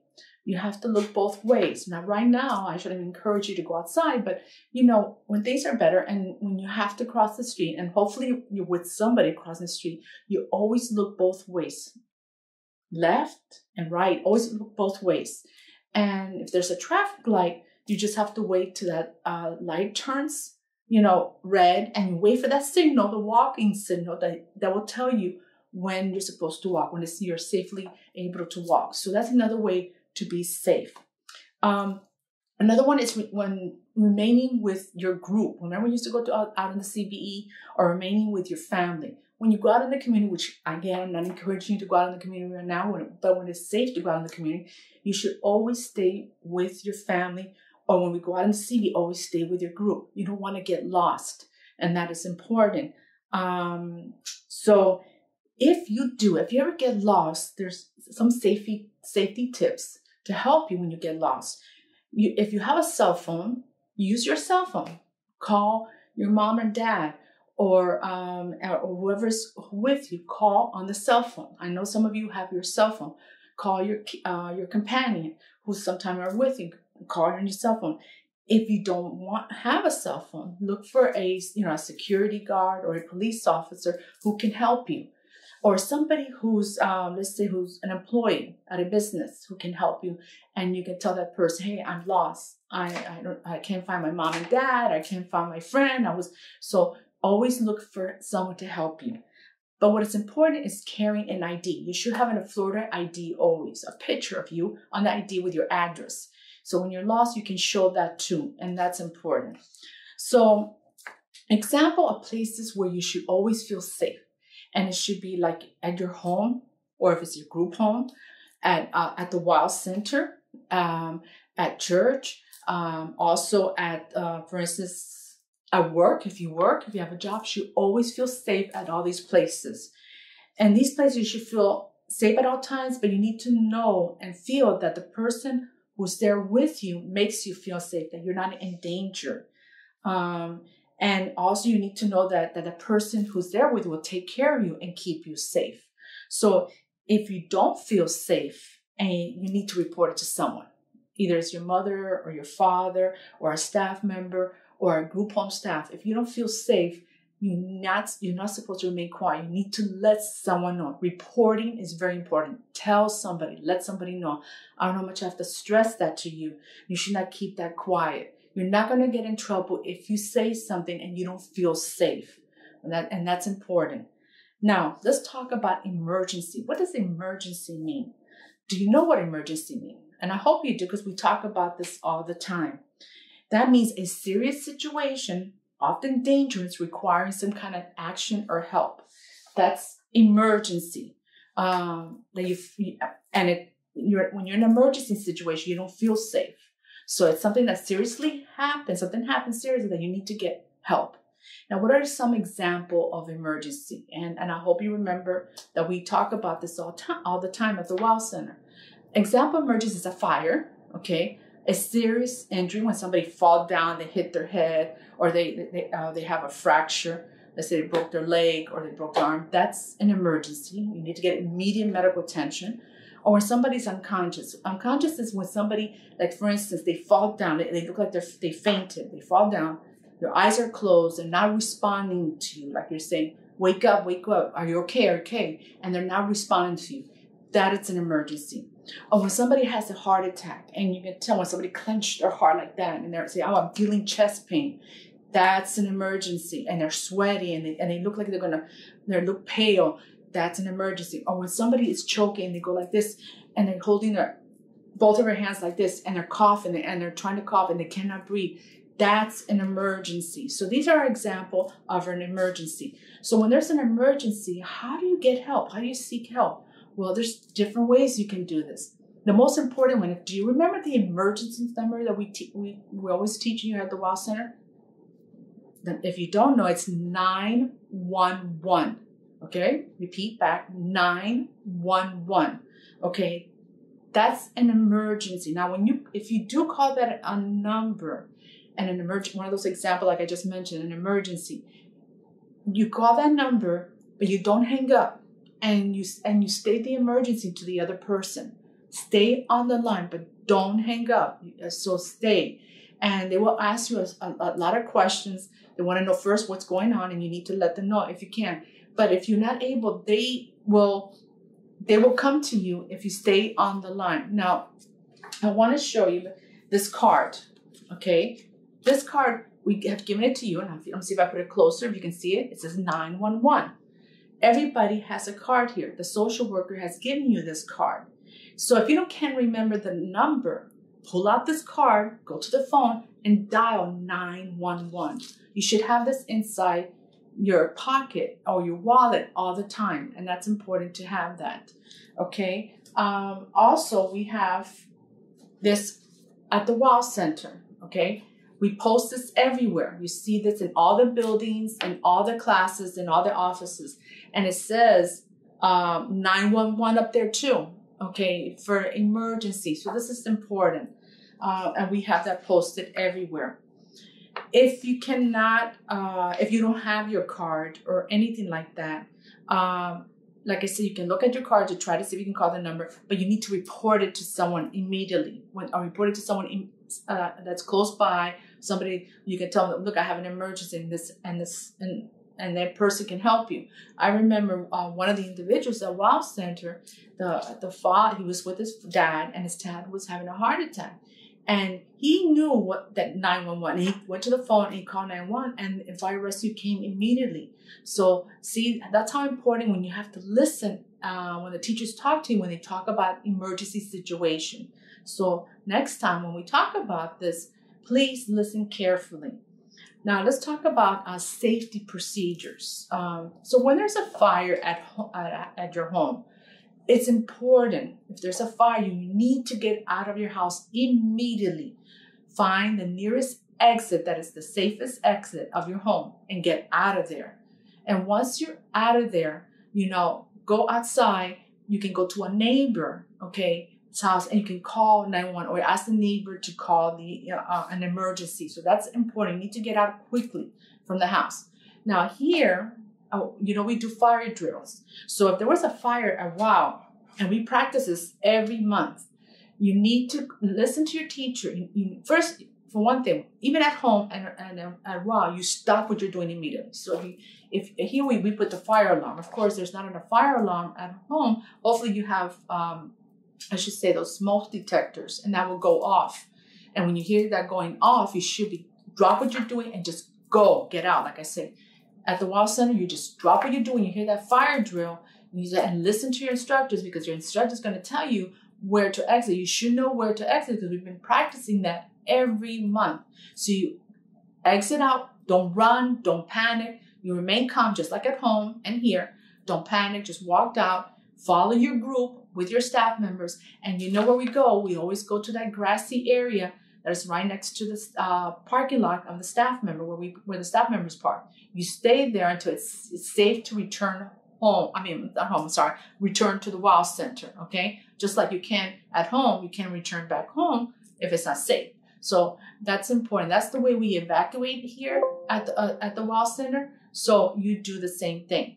If there's a thunder and lightning storm, okay, that's important. That happens a lot in Florida. Uh, we get a lot of rain, get a lot of thunder, and we got a, of, a storm. So you have to stay indoors. Okay, that's important. You don't want to be outside when there's when you start hearing thunders or lightning. You need to go inside because it's safe. Um, also, stay away from open doors and windows. You can't because you know a lightning the light can come in and struck can strike you. So stay away from you know open doors and windows. And very important. If don't talk in the telephone, don't uh, have your headset on because a lightning can strike electrical things uh, and the phone lines. So don't be on your uh, headphones or um, and also on the phone. So when you hear thunder and lightning, you should not be on there. And also um, turn off the computers um, and appliances and television. That's important too. And of course, if you're at the beach, do not go in the water or in the pool. Do not go in the water. You have to avoid the water if there's thundering and lightning. So you got to keep yourself safe, and that's important. What about hurricanes? And of course, in Florida, we, we sometimes have hurricanes. And the hurricane season right now is like June 1st to November 30th. So when that month's come, we have to be prepared before a hurricane comes. So you have to listen to the radio and television and, and, and hear information when a hurricane is coming. So always keep, po- you know, posted, be prepared for that. Now, actually, you should not wait to be, uh, wait to get ready when a hurricane takes place. You should have all these supplies ahead of time. For example, plenty of water. Okay, you should have shutters to put on your windows. Some people don't have shutters; they have they have these plywood. You should have shutters. Um, you should have enough food uh, supplies in case if a hurricane comes. When a hurricane, you know, so you you you have that already at home. Um, and it's important that uh, if a hurricane comes, to put up the shutters at home and to put uh, away any objects outside of your house because you know when there's a hurricane there could be a lot of wind and start blowing all those objects and that is and that can be very dangerous. Now while the WOW Center closes you, you know as you everybody knows if the Dade County Public School closes the WOW Center closes. We want to make sure every everybody is safe. So you have to remain at home. And once the hurricane passes and everything is safe, then we will let you know when you can return to the WOW Center. After the hurricane passes, you're not to go outside the house because there could be a lot of debris and that can be harmful and dangerous. You don't know what's on the ground. So do not try to go outside. I encourage you to stay until it's safe to go outside. So now we're going to talk about um, dangerous chemicals. Okay, you need to stay away from dangerous kind, not to touch any dangerous. I'm going to give you, I'm going to show you some dangerous chemical that I'm talking about. For instance, okay, right here, Clorox. Okay, you use that to wash clothes and things like that. You're not to swallow this, or you should not let this get on your skin because that, that is harmful. Another dangerous chemical. Let me show you. These are cleaning, you know, for uh, to clean the floor there are, there's some cleaning supplies you have to be careful. You don't want to drink this. That you know this is not something you drink that can hurt you. Okay, that then you would have to go to the hospital immediately. So you don't touch any cleaning chemicals. Any uh, and that can be if you know if you happen to drink this, it can you would have to go to the hospital immediately. Another dangerous uh, chemical is this bug spray. Got to be careful it doesn't go on your eyes and go on your skin. This is dangerous. Is poisonous. Actually, all that is poisonous, what I just showed you. So don't touch that because these dangerous chemical, if it goes into your eyes or your skin or you swallow, you, you need to go to the hospital immediately. It's like a, you would have to call 911. It can hurt you. So stay away from all that. And if by any chance that you get that on your hands or your skin, please wash it off immediately. Okay, immediately. Okay, don't let it stay on you. Now let's talk about insects and animal bites. Okay, if you have a severe allergic reaction to insect bites, like you know, if you get sting, let's say a bee stings you or a wasp, and you and you, you're having trouble breathing, or you're get very uh, some people get a very severe allergic reaction to that. You need to get an emergency as soon as possible. Especially if an animal bites you, you need to get an emergency. It's going to require medical attention. And then the next thing I want to talk about about safety um, uh, uh, is strangers. And you know, you have to be careful with strangers because uh, there, unfortunately, there's some bad people in this world, and they want to hurt people. And you don't want to be near any stranger because you don't know that person. If you don't know the name of that person, you've never been with that person, you need to be careful. You need to protect yourself. You need to be safe. So do not open the doors to strangers. Okay, if somebody knocks on the door, and they say, Hello, can you please open the door? If you don't know that person, do not open that door. Keep that door locked. If your door is locked, you're safe at home, but don't open the door. If your mom is at home, your dad, let them know there's somebody at the door, but you don't open it. You don't know that person. Also, do not talk to any strangers on the phone. Sometimes strangers can call on the phone and they want to know your name and address, and they ask you all these sorts of questions. Do not answer those questions. And you can hang up. Don't even talk to the person. If you don't know that person, you should not be answering any personal, should not give out any personal information. Your, your address, your phone number, and social security, none of that should be given out. Okay, so do not talk to strangers on the phone. And do not con- connect with strangers on Facebook or Instagram or Twitter that can be dangerous. You don't know that person and you start having conversation with that person, then that person wants to come and see you or wants you to meet them somewhere. You do not do that. That's dangerous. You're not supposed, that's not safe. And do not talk to strangers in the community. If anybody comes up to you um, and wants to talk to you, do not accept anything from that stranger. I mean, walk away immediately. Um, if they, you know, if he asks you to come with them or wants to show you something, walk away. Do not stay with it and report it to someone. And report to somebody that somebody came up to you and was trying to uh, ask you to go somewhere. So that's important. Um, so you need to protect yourself. As long as you do all those things, you you are safe. Okay. Um, so now we're going to talk about abuse, neglect, and exploitation. We talk about this almost every day. Um, the teachers talk to you about this. The social workers talk to you about this. I've mentioned it to you also this is important. This is a way we need to talk about these things because we want to keep you safe. We don't want anybody to hurt you. So that's why we talk about abuse, neglect, and exploitation. And when we talk about this to you, please listen carefully. So that way, it's a way to protect you. So let's talk about abuse. What does abuse mean? Okay, I, I hope you know what abuse means. Uh, I know you know the different, probably different kinds of abuse, but what does abuse mean? It means cruel and violent treatment um, of a person, like somebody uh, that wants to harm a person, that seriously harms someone. So, what are some example of abuse? Okay, let's start looking at some example of abuse.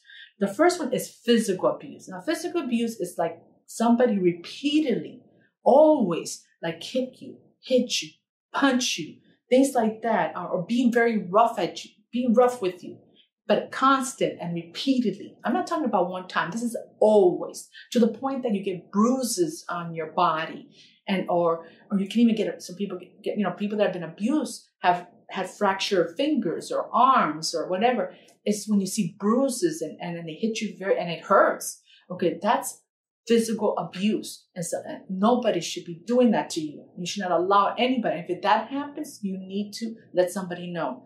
Another one is emotional and or verbal abuse. And this is when they repeatedly or somebody's always making threats to you. Like they're going to say, I'm going to hit you. I'm going to punch you. Or things like that. That's not right. Or for instance, making fun of you. Always saying you're fat, you're ugly. And that is not right. That's not kind. Another is name calling, calling you names that are not nice. Nobody should give you, uh, they should be calling you by your name and, and, and that is not nice and kind of called, making all these names. So, or isolating, keeping you away from everybody. That is not good too. So that is verbal and emotional abuse. And now with the next one is sexual abuse. When somebody touch your private parts and and you know that it doesn't feel right, and that's and and they, this is your body. They're not supposed to be touching your private parts anywhere. Or somebody forces you to touch somebody else's private parts. That is sexual abuse. When that and then when that happens, that is not right. Uh, physical restraint. What does physical restraint? We talked about this here too. It's when the uh, physical restraint is overused, when uh, when this happens constantly, all the time, prevents from person moving freely. Like they, they, let's say, for instance, they tied you onto the chair or to a wheelchair and they don't let you come out. They restrain you. They keep you there and you're not not free to move, or they keep you locked up in your room. That's physical restraint, and that's you're not. And that's an abuse too. Another one is chemical restraint. What does that mean? Chemical restraint, we also talk about them when they overly medicate you, when they give you a lot of medication. Why? Maybe um, just to calm you down too much, but that is, but it's harmful. Like uh, when they over medicate you, for instance, that you're not able to speak well, you're not able to move freely, or you're always falling asleep, or you can't even think or speak that is not good. Okay, that's something you have to be careful that they don't give you a lot of medication and that could be very harmful. So now let's talk to the, the next topic. We already talked about physical. Uh, we talked about all the different kind of abuse: physical abuse, verbal, emotional abuse, and we talked about chemical restraint, and we talked about physical restraint, and we talked. I think, and let me. I hope I didn't forget one. I want to make sure that these are so important. And sexual abuse. Okay, these are all we talked about this all the time at the Wow Center. The next one is what is exploitation? I know this is a very hard and difficult word, and sometimes we will not remember what is exploitation. And I want you to remember this one because this one is important. Exploitation means the action of taking advantage of someone or treating someone unfairly in order to benefit oneself, uh, to benefit the other person. So it's like somebody take advantage of you, okay, and treat you unfairly in order to benefit benefit that one person who's doing that to you. Okay, it's just it's not to benefit you; it's to benefit the other person. So, what are some example of exploitation? Okay, for instance, not allowing the person to have their money, not allowing that person to have his and her money. Okay, it's like keeping that money away from that person, and that's not right. You know, if you if you have your own money, that person nobody should keep that money away from you. It's your money. Or stealing your money is also exploitation. Or stealing your personal belonging is exploitation. So, um, or even if you have, like say, a checking account, if you have a checking account or something, and somebody goes in there and take your money, that is not right too. So these are examples of exploitation. And then the next one is what is neglect? We talked about this too. So let me, you know, the meaning of neglect, and I'm going to share this with you. So it is ignoring the person, not caring for the person, not supervising the person, and not giving attention to that person in order to make sure that he or she is safe and and and, and in good health. So in good conditions. So we this is important. Um, and and we and it's important and what I mean by that that whoever takes care of you is making sure that you're well taken care of.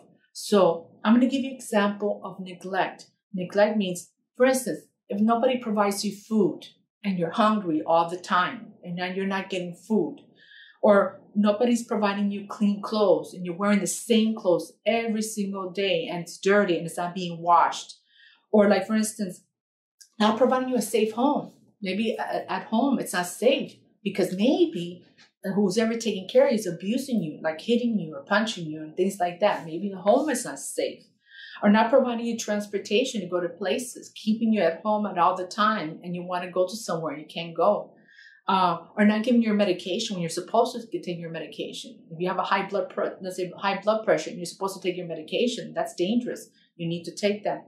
Or not taking your doctor on a yearly basis to check, you know, to be checked out because we need to go to the doctor every year to make sure that we're fine and we're in good health. Or not taking you to the dentist. To, to you know, that's important too. You need to have your teeth needs to be healthy.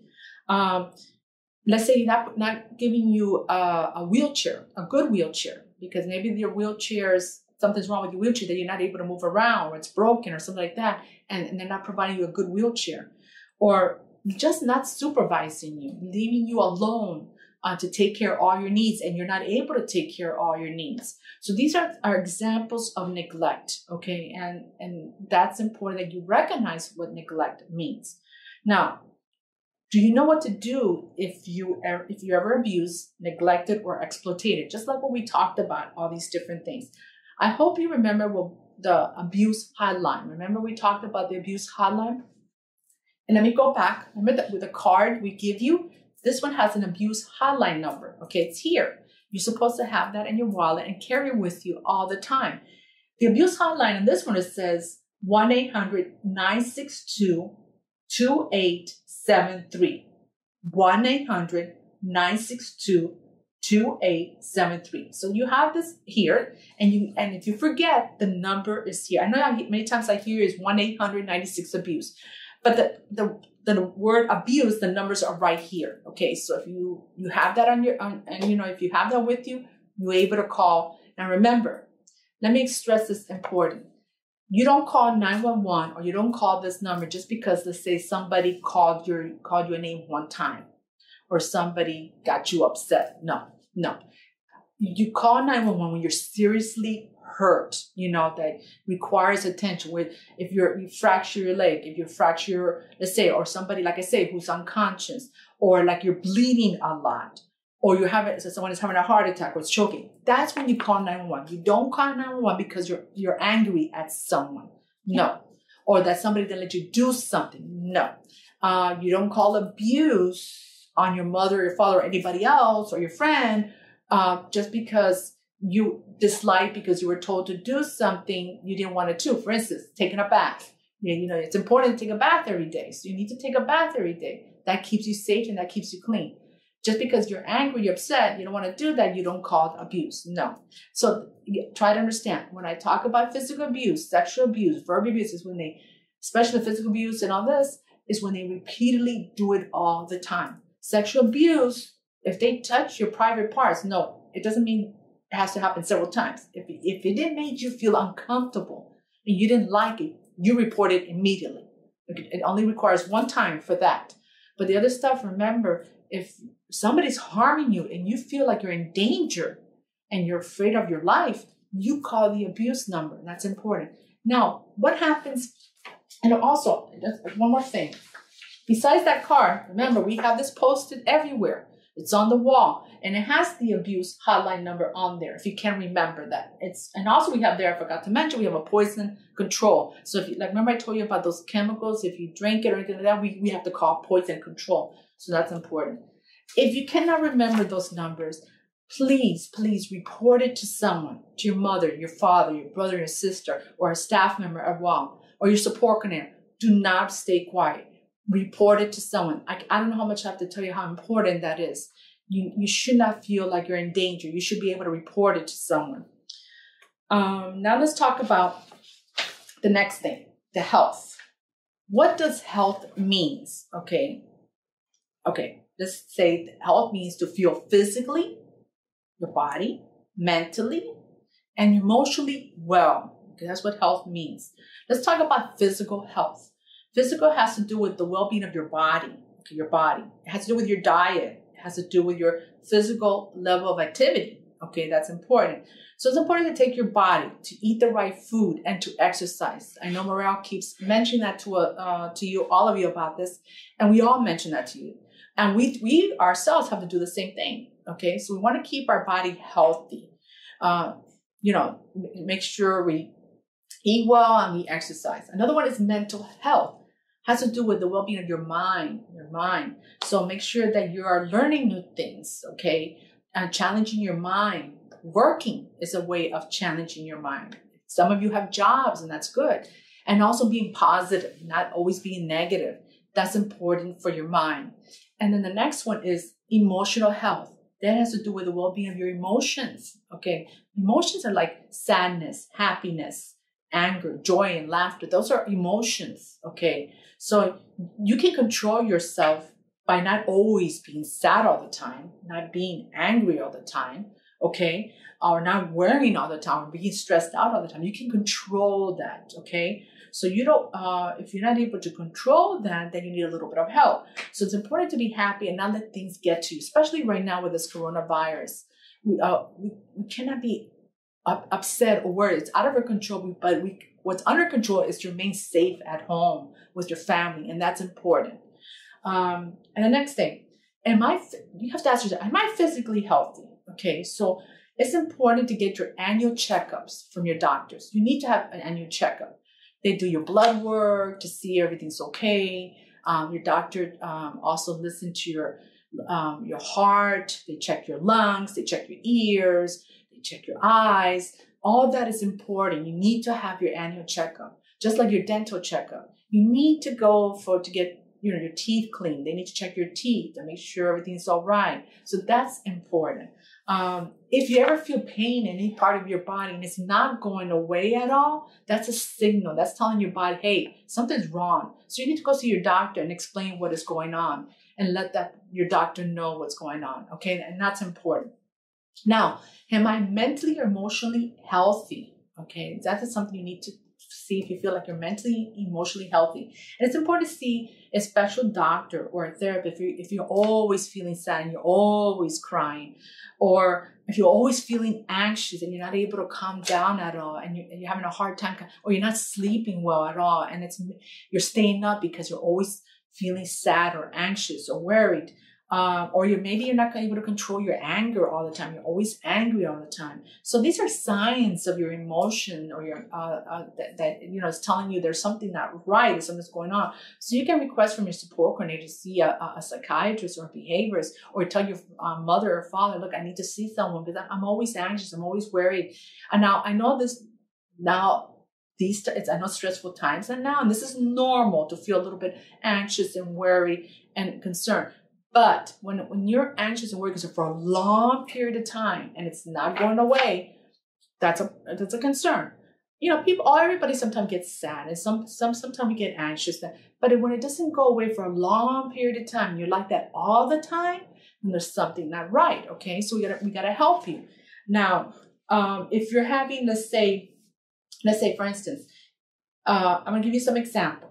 If you want to communicate better, and and you want to express your needs and wants, um, you need to communicate to your support coordinator that, that you want to see a speech therapist because a speech therapist can help you with that. Okay. Um, or like for instance, if you're having trouble walking, you're having walking difficulties, and your joints is let's say they're very stiff, and, you, are having hard trouble moving around, you may want to ask your support coordinator, I want to see a physical therapist to help you with that. Okay. Or if you have a, uh, trouble swallowing food, you may want to see a dietitian or a, or, or a therapist specifically for that. So you ask your support coordinator, okay, I want to see somebody. So, or, or tell your mom or dad, I want to see somebody. So these are things that are very important. Now, because of this coronavirus, you're not able to make an appointment and go sit in the office to see a doctor right this moment. I, I for instance, I had a stomach issue and I saw my doctor through my computer, like a video, a camera. It's like called telehealth. That's what it's called. So you see them through a video and you tell the doctor what's going on with. That's with your doctor, with your therapist, with your psychiatrist, because it's not safe to get out of the house right now. So you need to share all this through the video camera. But uh, hopefully this will be all gone. You can go back and see your doctor and your therapist and your behaviors and even your speech therapist. Next, I want to mention too, for instance, and uh, and again, when we talk about uh, going back to the uh, medication and things like that, I don't want you. Oh, I forgot to mention. I don't want you. Okay, I'm showing Advil, um, or any kind of medication. Don't try to take the medication on your own if you don't know how much you're taking. Okay, that's important. I don't want you to do that. Um, you need to um, uh, hopefully your mom and dad will tell you uh, the medication you're supposed to take or give you the medication just like the, uh, the person in the group home uh, will give you the medication. Because if you take too much medication it can harm you. So i forgot to mention that. And that's something I also i forgot to mention about being healthy and being safe. That uh, if you are sneezing okay please get, get a tissue. Okay if you keep this in your in your in your wallet or your purse whatever um, not your wallet, sorry, in your purse or in your pocket. There's tissue like this. If you're sneezing, don't sneeze at the person. Sneeze, you know, try to uh, maybe, I, I, what I sometimes do when I sneeze inside my shirt because I don't want to give it to somebody else. Um, so I get my tissue and I wipe my nose and everything like that. And then I go wash my hands because I don't want everybody to, uh, you know, I have allergies. So I don't, you know, I'm, I'm you know, I have to wash my hands after uh, I'm sneezing or if you're if you have a cold, you have to wash your hands. Also, if you're coughing, okay, don't cough at the person. Cough like this. Or oh, I used to, I do this. I cough inside my shirt, you know, or you know, or like I go like this. Like I said, I'll, I make sure that the person, I'm not coughing at the person. So that's important. And then, of course, wash your hands and things like that. So I'm, I forgot to mention that because that is important. And then one thing I want to add. Remember, I always tell you when you're feeling a little bit anxious or nervous or anything and I say those few words, I want to add one more little word to this uh, whole thing. I want to I want to say that and when you repeat to me, I am strong, I am fine, I am safe, I can do this. I can do this. Okay, you gotta say I can do. I want to say I can do this. So let's do this again. Okay, I am strong. Okay, I am fine. I am safe. I can do this. So add that in the end. And, if you say it several times, it will help you.